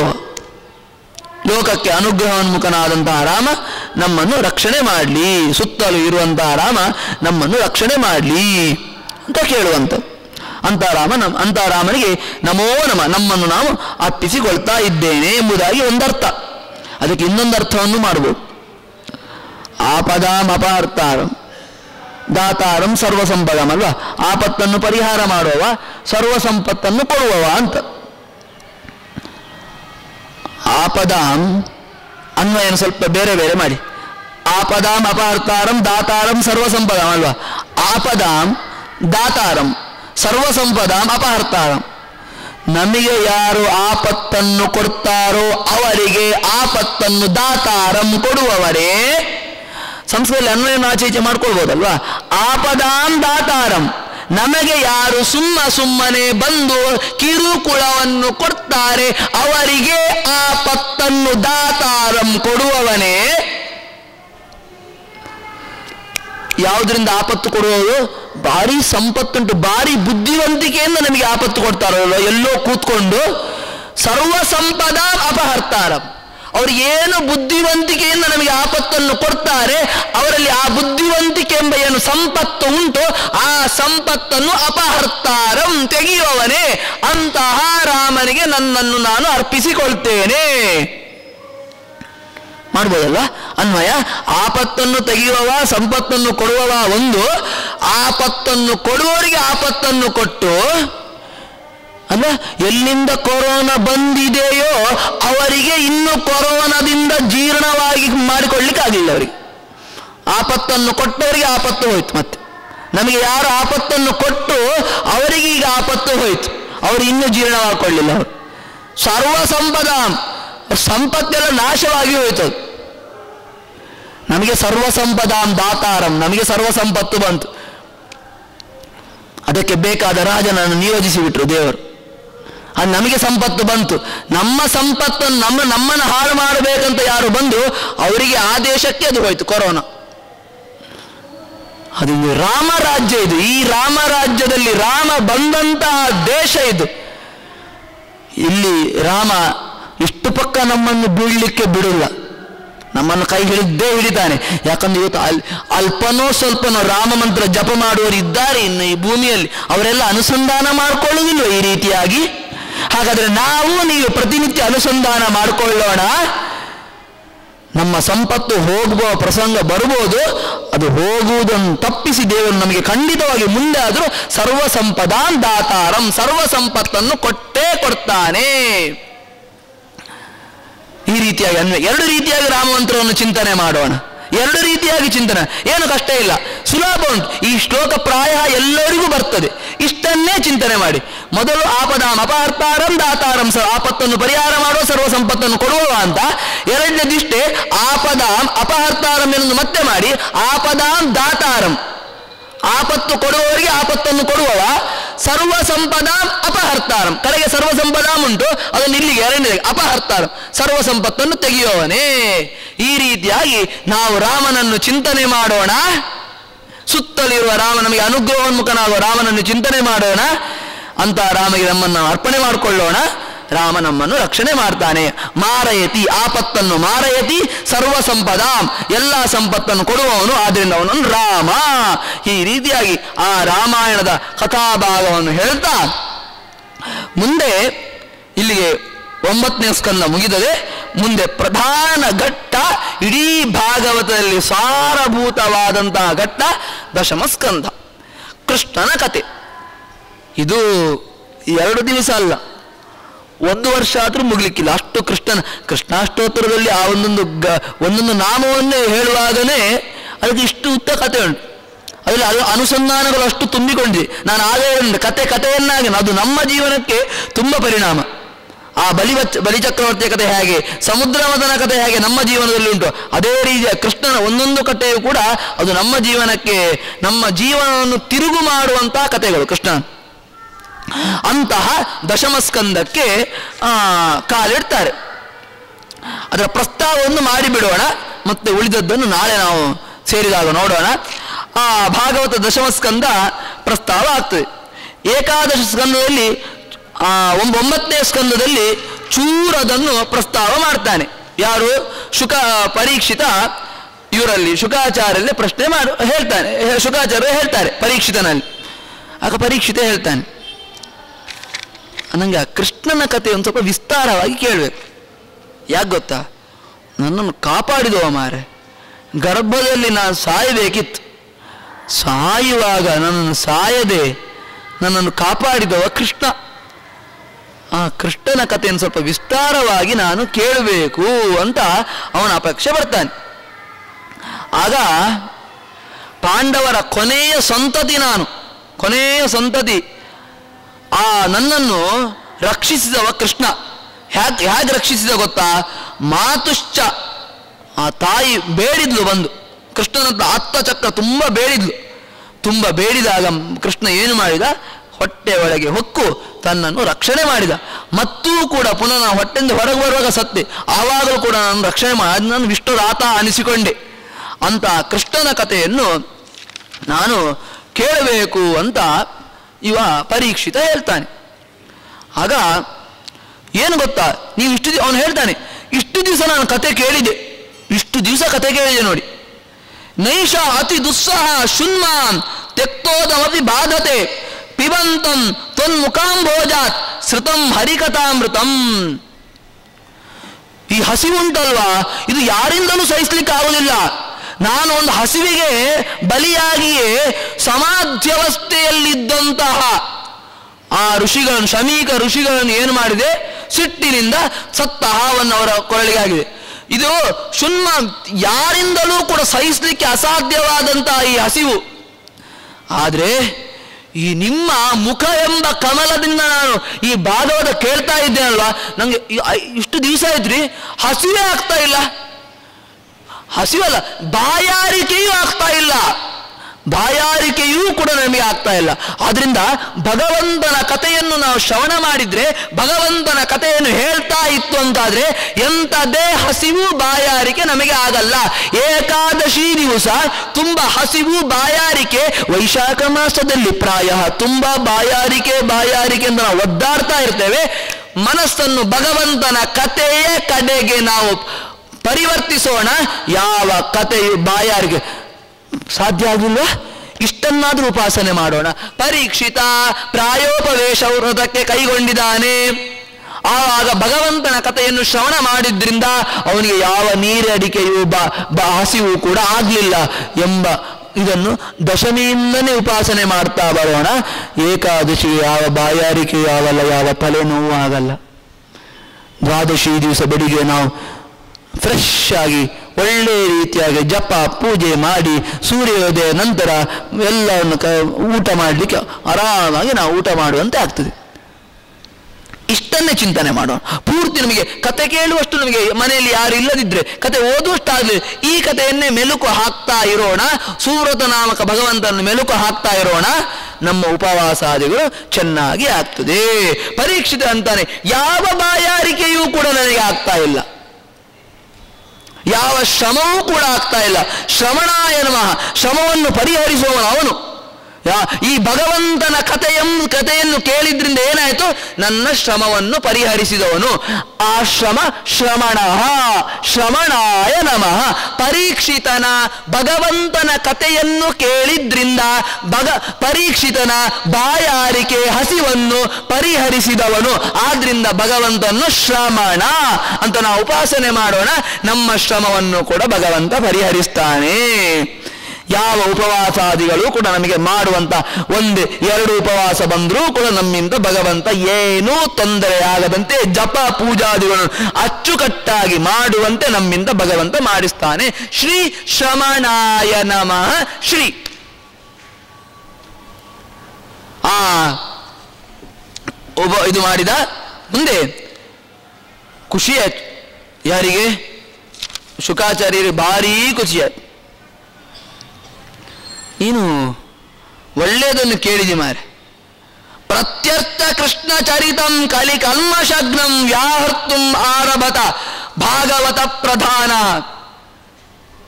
ಕತೆ ಕೇಳುವಾಗ ಆ ಕೃಷ್ಣ ಚರಿತ್ರೆಗೆ ಅಲ್ಲಿಂದಲೇ ಒಂದು ನಮಸ್ಕಾರ ಮಾಡಬೇಕಂತೆ. ಕೃಷ್ಣನ ಚರಿತ್ರೆಯನ್ನು ಕೇಳ್ತಾ ಇದ್ದೇನೆ, ಆ ಕೃಷ್ಣನ ಚರಿತ್ರೆಗೆ ಒಂದು ನಮಸ್ಕಾರ ಮಾಡಿ, ಏನು ಗೊತ್ತಾ, ಈ ಕೃಷ್ಣನ ಚರಿತ್ರೆ ಕೇಳಿದ್ರಿಂದ ಕಲಿ ಕಲ್ಮಶಗ್ನಂ, ಕಲಿಯಿಂದ ಏನು ಕಾಲುಷ್ಯ ಬಂದಿರ್ತದೆ ನಾವು ಮಾಡಿರ್ತೇವೆ, ಅದನ್ನೆಲ್ಲ ಪರಿಹಾರ ಮಾಡ್ತಾನಂತೆ ಕೃಷ್ಣ. ಅದಕ್ಕೆ ಅವನು ಕೃಷ್ಣ ಅಂತ ಕರೀ ಕ್ಲೀಮ್ ಅಂತ ಕರೀದು, ಯಾಕೆ ಗೊತ್ತಾ? ಕ್ಲೀನ್ ಮಾಡ್ತಾನೆ. ನಮ್ಮ ಮನಸ್ಸನ್ನು ಕ್ಲೀನ್ ಮಾಡೋದ್ರಿಂದ ಅವನು ಕ್ಲೀಮ್ ಅಂತ ಕರೆಯು. ಕ್ಲೀನ್ ಕೃಷ್ಣ ಅಂತ ಹೇಳಿದ್ದು ಏನಿದೆ? ಕ್ಲೀನ್ ನಮ್ಮ ಮನಸ್ಸನ್ನು ಕ್ಲೀನ್ ಮಾಡ್ತಾನೆ ಆದ್ರಿಂದ ಅವನು ಕ್ಲೀನ್ ಕೃಷ್ಣ ಎಲ್ಲವನ್ನು ಕೂಡ ಕರ್ಷಣೆ ಮಾಡ್ತಾನೆ. ನಮ್ಮ ಕಲಿಯಿಂದ ನಾವು ಏನು ಪಾಪ ಮಾಡಿರ್ತೇವೆ, ಆ ಪಾಪವನ್ನೆಲ್ಲ ಆಕರ್ಷಣೆ ಮಾಡ್ತಾ ಅದನ್ನು ಕೃಷ್ಣ. ಅದರಿಂದ ಕಲಿ ಕಲ್ಮಶ ಎಲ್ಲ ಕಲಿಯಿಂದ ಉಂಟಾದ ಪಾಪಗಳು ಏನುಂಟು? ಅದನ್ನೇ ದುಷ್ಕೃತಿಗ್ನೇ ನಮಃ. ದುಷ್ಕೃತಿಗಳನ್ನು ನಾಶ ಮಾಡುವವನು. ದುಷ್ಕೃತಿ ಅಂದ್ರೆ ದುಷ್ಕೃತಿಂ, ಅಂದ್ರೆ ದುಷ್ಕೃತಿ ಪ್ರೇರಕಾನ್, ಹಂತೀತಿ. ದುಷ್ಕೃತಿಯನ್ನು ಯಾರು ಪ್ರೇರಣೆ ಮಾಡ್ತಾರೆ ಅವರನ್ನು ಹಂತಿ ನಾಶ ಮಾಡುವವನು. ಆದ್ದರಿಂದ ಅವನನ್ನು ದುಷ್ಕೃತಿ ಉತ್ತಾರಣೋ ದುಷ್ಕೃತಿ ಅಂತ ಒಂದು ನಾಮ ಬರ್ತದೆ, ವಿಷ್ಣು ಸಹಸ್ರ ದುಷ್ಕೃತಿಜ್ಞೇ ನಮಃ. ಕಲಿಯ ಪ್ರೇರಣೆಯಿಂದ ನಾವು ಏನು ದುಷ್ಕೃತಿಗಳನ್ನು ಮಾಡ್ತೇವೆ ಸಜ್ಜನರಾದಂತ ನಾವು ಏನು ದುಷ್ಕೃತಿಗಳನ್ನು ಮಾಡ್ತೇವೆ ಆ ದುಷ್ಕೃತಿಗಳನ್ನು ನಾಶ ಮಾಡುವವನು. ಶ್ರೀ ದುಷ್ಕೃತಿಜ್ಞೇ ನಮಃ. ಶ್ರೀ ಪ್ರತಿನಿತ್ಯ ಉಪಾಸನೆ ಮಾಡೋಣ. ಕಲಿಕಾಲದಲ್ಲಿ ಹೆಜ್ಜೆ, ಹೆಜ್ಜೆಗೂ ನಾವು ತಪ್ಪನ್ನು ಮಾಡ್ತಾ ಇರ್ತೇವೆ. ಆ ತಪ್ಪು ಕಲಿಯಿಂದ ಸಜ್ಜನರಾದ ನಮಗೆ ಮಾಡಬೇಕಂತ ಸಜ್ಜನಾದ ನಮಗೆ ನಿಮಗೆ ಮಾಡಬೇಕಂತ ಏನು ಆಸೆ ಇಲ್ಲ. ಏನೋ ಕಲಿಯ ಪ್ರಭಾವದಿಂದ ನಡೀತದೆ. ಆ ತಪ್ಪುಗಳನ್ನು ನಾಶ ಮಾಡುವನು ಕೃಷ್ಣ, ದುಷ್ಕೃತಿ ರೂಪಿ ಪರಮಾತ್ಮ ಎಂಬುದಾಗಿ ಉಪಾಸನೆ ಮಾಡೋಣ. ನಮ್ಮ ಪಾಪವನ್ನು ಪರಿಹಾರ ಮಾಡ್ತಾನೆ. ಅಂತಹ ಭಾಗವತವನ್ನು ನಾನು ಹೇಳ್ತೇನೆ ಎಂಬುದಾಗಿ ಶುಕಾಚಾರ್ಯರು ನೀನು ಒಳ್ಳೆಯ ಪ್ರಶ್ನೆ ಮಾಡಿದಿ ಅಂತ ಹೇಳ್ತಾರೆ. ಮುಂದೆ ಅವನ, ಅವನಿಗೆ ಇನ್ನೂ ಒಳ್ಳೆಯ ಇದು ಬರಬೇಕು, ಅದರಲ್ಲಿ ಆಸಕ್ತಿ ಬರಬೇಕು ಆ ಕಥೆಯಲ್ಲಿ. ಅದಕ್ಕೊಂದು ಮಾತು ಹೇಳ್ತಾನೆ. ನೀನು ಸರಿಯಾದ ನಿರ್ಧಾರಣೆ ಮಾಡಿದಿ. ಕೃಷ್ಣನ ಕಥೆ ಹೇಳಬೇಕಂತ ಇದು ಯೋಚನೆ ಮಾಡಿದಲ್ವಾ? ಇದು ಸರಿಯಾದ ನಿರ್ಧಾರ. ಏನು ಕೃಷ್ಣನ ಕಥೆಯ ಮಹತ್ವ ಏನು ವಾಸುದೇವ ಕಥಾ ಪ್ರಶ್ನ ಪುರುಷಾ ಸ್ತ್ರೀನ್ ಪುನಾತಿ ವಕ್ತಾರಂ ಪೃಚ್ಛಕಂ ಶ್ರೋತ್ರಂ ತತ್ಪಾದ ಸಲಿಲಂ ಯಥಾ ವಾಸುದೇವ ಕಥಾ ಪ್ರಶ್ನ ವಾಸುದೇವನ ಕಥೆಯ ಪ್ರಶ್ನೆ ಯಾರು ಜಿಜ್ಞಾಸೆ ಮಾಡ್ತಾರೆ ತ್ರೀನ್ ಪುರುಷಾನ್ ಪುನಾತಿ ಮೂರು ಪುರುಷರನ್ನು ಅದು ಪವಿತ್ರಗೊಳಿಸ್ತದೆ. ಆ ಪುರುಷರು ಯಾರು ಗೊತ್ತಾ? ಮೂರು ಪುರುಷರು ಯಾರು ಗೊತ್ತಾ? ವಕ್ತಾರಂ. ಕತೆ ಹೇಳುವವ. ವಕ್ತಾರಂ. ಶೋತೃನ್. ನಾ, ನೀವೆಲ್ಲರೂ ಶೋತೃಗಳು. ವಕ್ತಾರಂ. ಇನ್ನೊಂದು ಕೇಳ್ತಾರೆ. ಪ್ರಶ್ನೆ ಯಾರು ಕೇಳ್ತಾನೆ ಅವನು ಕೂಡ. ಕೃಷ್ಣನ ಬಗ್ಗೆ ಪ್ರವಚನ ಆಗ್ತದೆ. ಅದು ಯಾಕೆ ಕೃಷ್ಣ ಹಾಗೆ ಮಾಡಿದ? ಈ ರೀತಿಯಾಗಿ ವಕ್ತಾರಂ ಯಾರು ಪ್ರಶ್ನೆ ಕೇಳ್ತಾರೆ. ಈ ಮೂರು ಜನರನ್ನು ಕೂಡ ಆ ಕೃಷ್ಣನ ಕತೆ ಪವಿತ್ರಗೊಳಿಸ್ತಾನಂತೆ ಭಗವಂತನ ಕಥಾಶ್ರವಣ ಕೃಷ್ಣನ ಕಥೆಯನ್ನು ಶ್ರವಣ ಮಾಡಿದರೆ ಹೇಳುವವನು, ಕೇಳುವವನು, ಪ್ರಶ್ನೆ ಮಾಡುವವನು ಎಲ್ಲರೂ ಕೂಡ ಪವಿತ್ರಗೊಳ್ತಾರೆ. ಹೇಗೆ ಗೊತ್ತಾ? ತತ್ಪಾದ ಸಲೀಲಂ ಯಥಾ ಹಾಗೆ ಭಗವಂತನ ಪಾದ, ಜಲ ಯಾವುದು? ಗಂಗೆ. ಗಂಗೆಯಲ್ಲಿ ಯಾರು ಸ್ನಾನ ಮಾಡ್ತಾರೆ, ಪಾನ ಮಾಡ್ತಾರೆ, ಯಾರು ದರ್ಶನ ಮಾಡ್ತಾರೆ, ಅವರ ಪಾಪ, ದರ್ಶನ ಮಾಡುವುದರಿಂದಲೇ ಸಕಲ ಪಾಪ ಪರಿಹಾರ ಆಗ್ತದೆ. ಇನ್ನು ಸ್ನಾನ ಮಾಡಿದ್ರೆ, ಇನ್ನು ಪಾನ ಮಾಡಿದ್ರೆ ಎಲ್ಲ ಪಾಪಗಳು, ಈ ಹೇಗೆ, ಅವರು ಮೂರು ಜನಕ್ಕೆ ಹೇಗೆ ಆ ಗಂಗೆಯನ್ನು ನೋಡಿದ್ರೆ, ಸ್ನಾನ ಮಾಡಿದ್ರೆ, ಪಾನ ಮಾಡಿದ್ರೆ ಪಾಪ ಪರಿಹಾರ ಆಗ್ತದೋ, ಅದೇ ರೀತಿಯಾಗಿ ಕೇಳಿದವರಿಗೆ, ಹೇಳಿದವರಿಗೆ, ಪ್ರಶ್ನೆ ಹಾಕಿದವರಿಗೆ ಎಲ್ಲರಿಗೂ ಕೂಡ ಕೃಷ್ಣನ ಕತೆ ಪಾಪ ಪರಿಹಾರ ಮಾಡ್ತದೆ ಎಂಬುದಾಗಿ ಆ ಶುಕಾಚಾರ್ಯರು ಪರೀಕ್ಷಿತ ರಾಜನಿಗೆ ಕೃಷ್ಣನ ಕಥೆಯಲ್ಲಿ ಒಳ್ಳೆಯ ದಾರ್ಢ್ಯ ಬರಬೇಕು ಎನ್ನುವ ಕಾರಣ ಬರಬೇಕು. ಅದಕ್ಕೆ ಈ ಇದನ್ನು ಆ ವಾಸುದೇವನ ಕಥೆಯ ಮಹತ್ವವನ್ನು, ಕೇಳುವ ಮಹತ್ವವನ್ನು ತಿಳಿಸ್ತಾ ಇದ್ದಾರೆ. ಅದರಿಂದ ಭಗವಂತ, ಆ, ಪರೀಕ್ಷಿತರಿಗೆ ಮೇಲ್ನೋಟಕ್ಕೆ ಮಾಡಿದ್ದು ನಮಗೆ ಕೆಟ್ಟ ರೀತಿ ಕಾಣ್ತದೆ. ಅವನು ಇದರಿಂದ ಮೋಕ್ಷವನ್ನು ಆ ವಾಸುದೇವನ ಕಥೆಯನ್ನು ಕೇಳಿದ್ರಿಂದ ಮೋಕ್ಷವನ್ನು ಹೊಂದಿ. ಅದಕ್ಕೆ ಭಗವಂತನಿಗೆ ಸತ್ಯಸಂಧಾಯ ನಮಃ. ಸಜ್ಜನರಿಗೆ ಹಿತವಾದದ್ದನ್ನು ಮಾಡುವವನು. ಪರೀಕ್ಷೆ, ಸಜ್ಜನ ಮೇಲ್ನೋಟಕ್ಕೆ ಅಹಿತ ಅಂತ ಕಾಣ್ತಾ ಉಂಟು. ಅವನಿಗೆ ಬದುಕಿಸ್ಬೋದಿತ್ತಲ್ಲ ಅವನನ್ನು ಅಂತ ನಮಗೆ ಕಾಣ್ತದೆ. ಆದರೆ ಇದರಿಂದ ಅವನಿಗೆ ಹಿತನೇ ಆಗಬೇಕು. ಸಜ್ಜನಾದ ಪರೀಕ್ಷಿತನಿಗೆ ಹಿತವನ್ನು ಮಾಡಿದವ. ಶ್ರೀ ಸತ್ಯಸಂಧಾಯ ನಮಃ. ಶ್ರೀ ಸಜ್ಜನಾದ ನಮಗೆ, ನಿಮಗೆ ಭಗವಂತ ಯಾವತ್ತೂ ಕೂಡ ಹಿತವನ್ನೇ ಮಾಡ್ತಾನೆ ಮೇಲ್ನೋಟಕ್ಕೆ ಅಹಿತದಂತೆ ಕಂಡ್ರೂ ಕೂಡ ಅದು ಅಹಿತವಾಗಿರಲ್ಲ. ಅದರಿಂದ ಮುಂದೆ ಒಂದು ಹಿತವೇ ಆಗ್ತದೆ ಎಂಬುದನ್ನು ಪರೀಕ್ಷಿತ್ ಮಹಾರಾಜನ ಮೂಲಕ ಭಗವಂತ ನಮಗೆ ತೋರಿಸ್ತಾ ಇದ್ದಾನೆ ಎಂಬಲ್ಲಿಗೆ ಇಂದಿನ ಪ್ರವಚನವನ್ನು ಮುಕ್ತಾಯಗೊಳಿಸುತ್ತಾ ನಾಳೆ ಪುನಃ ಐದು ಗಂಟೆಗೆ ಭೇಟಿಯಾಗೋಣ. ಶ್ರೀಕೃಷ್ಣಾರ್ಪಣಂ ಅಸ್ತು.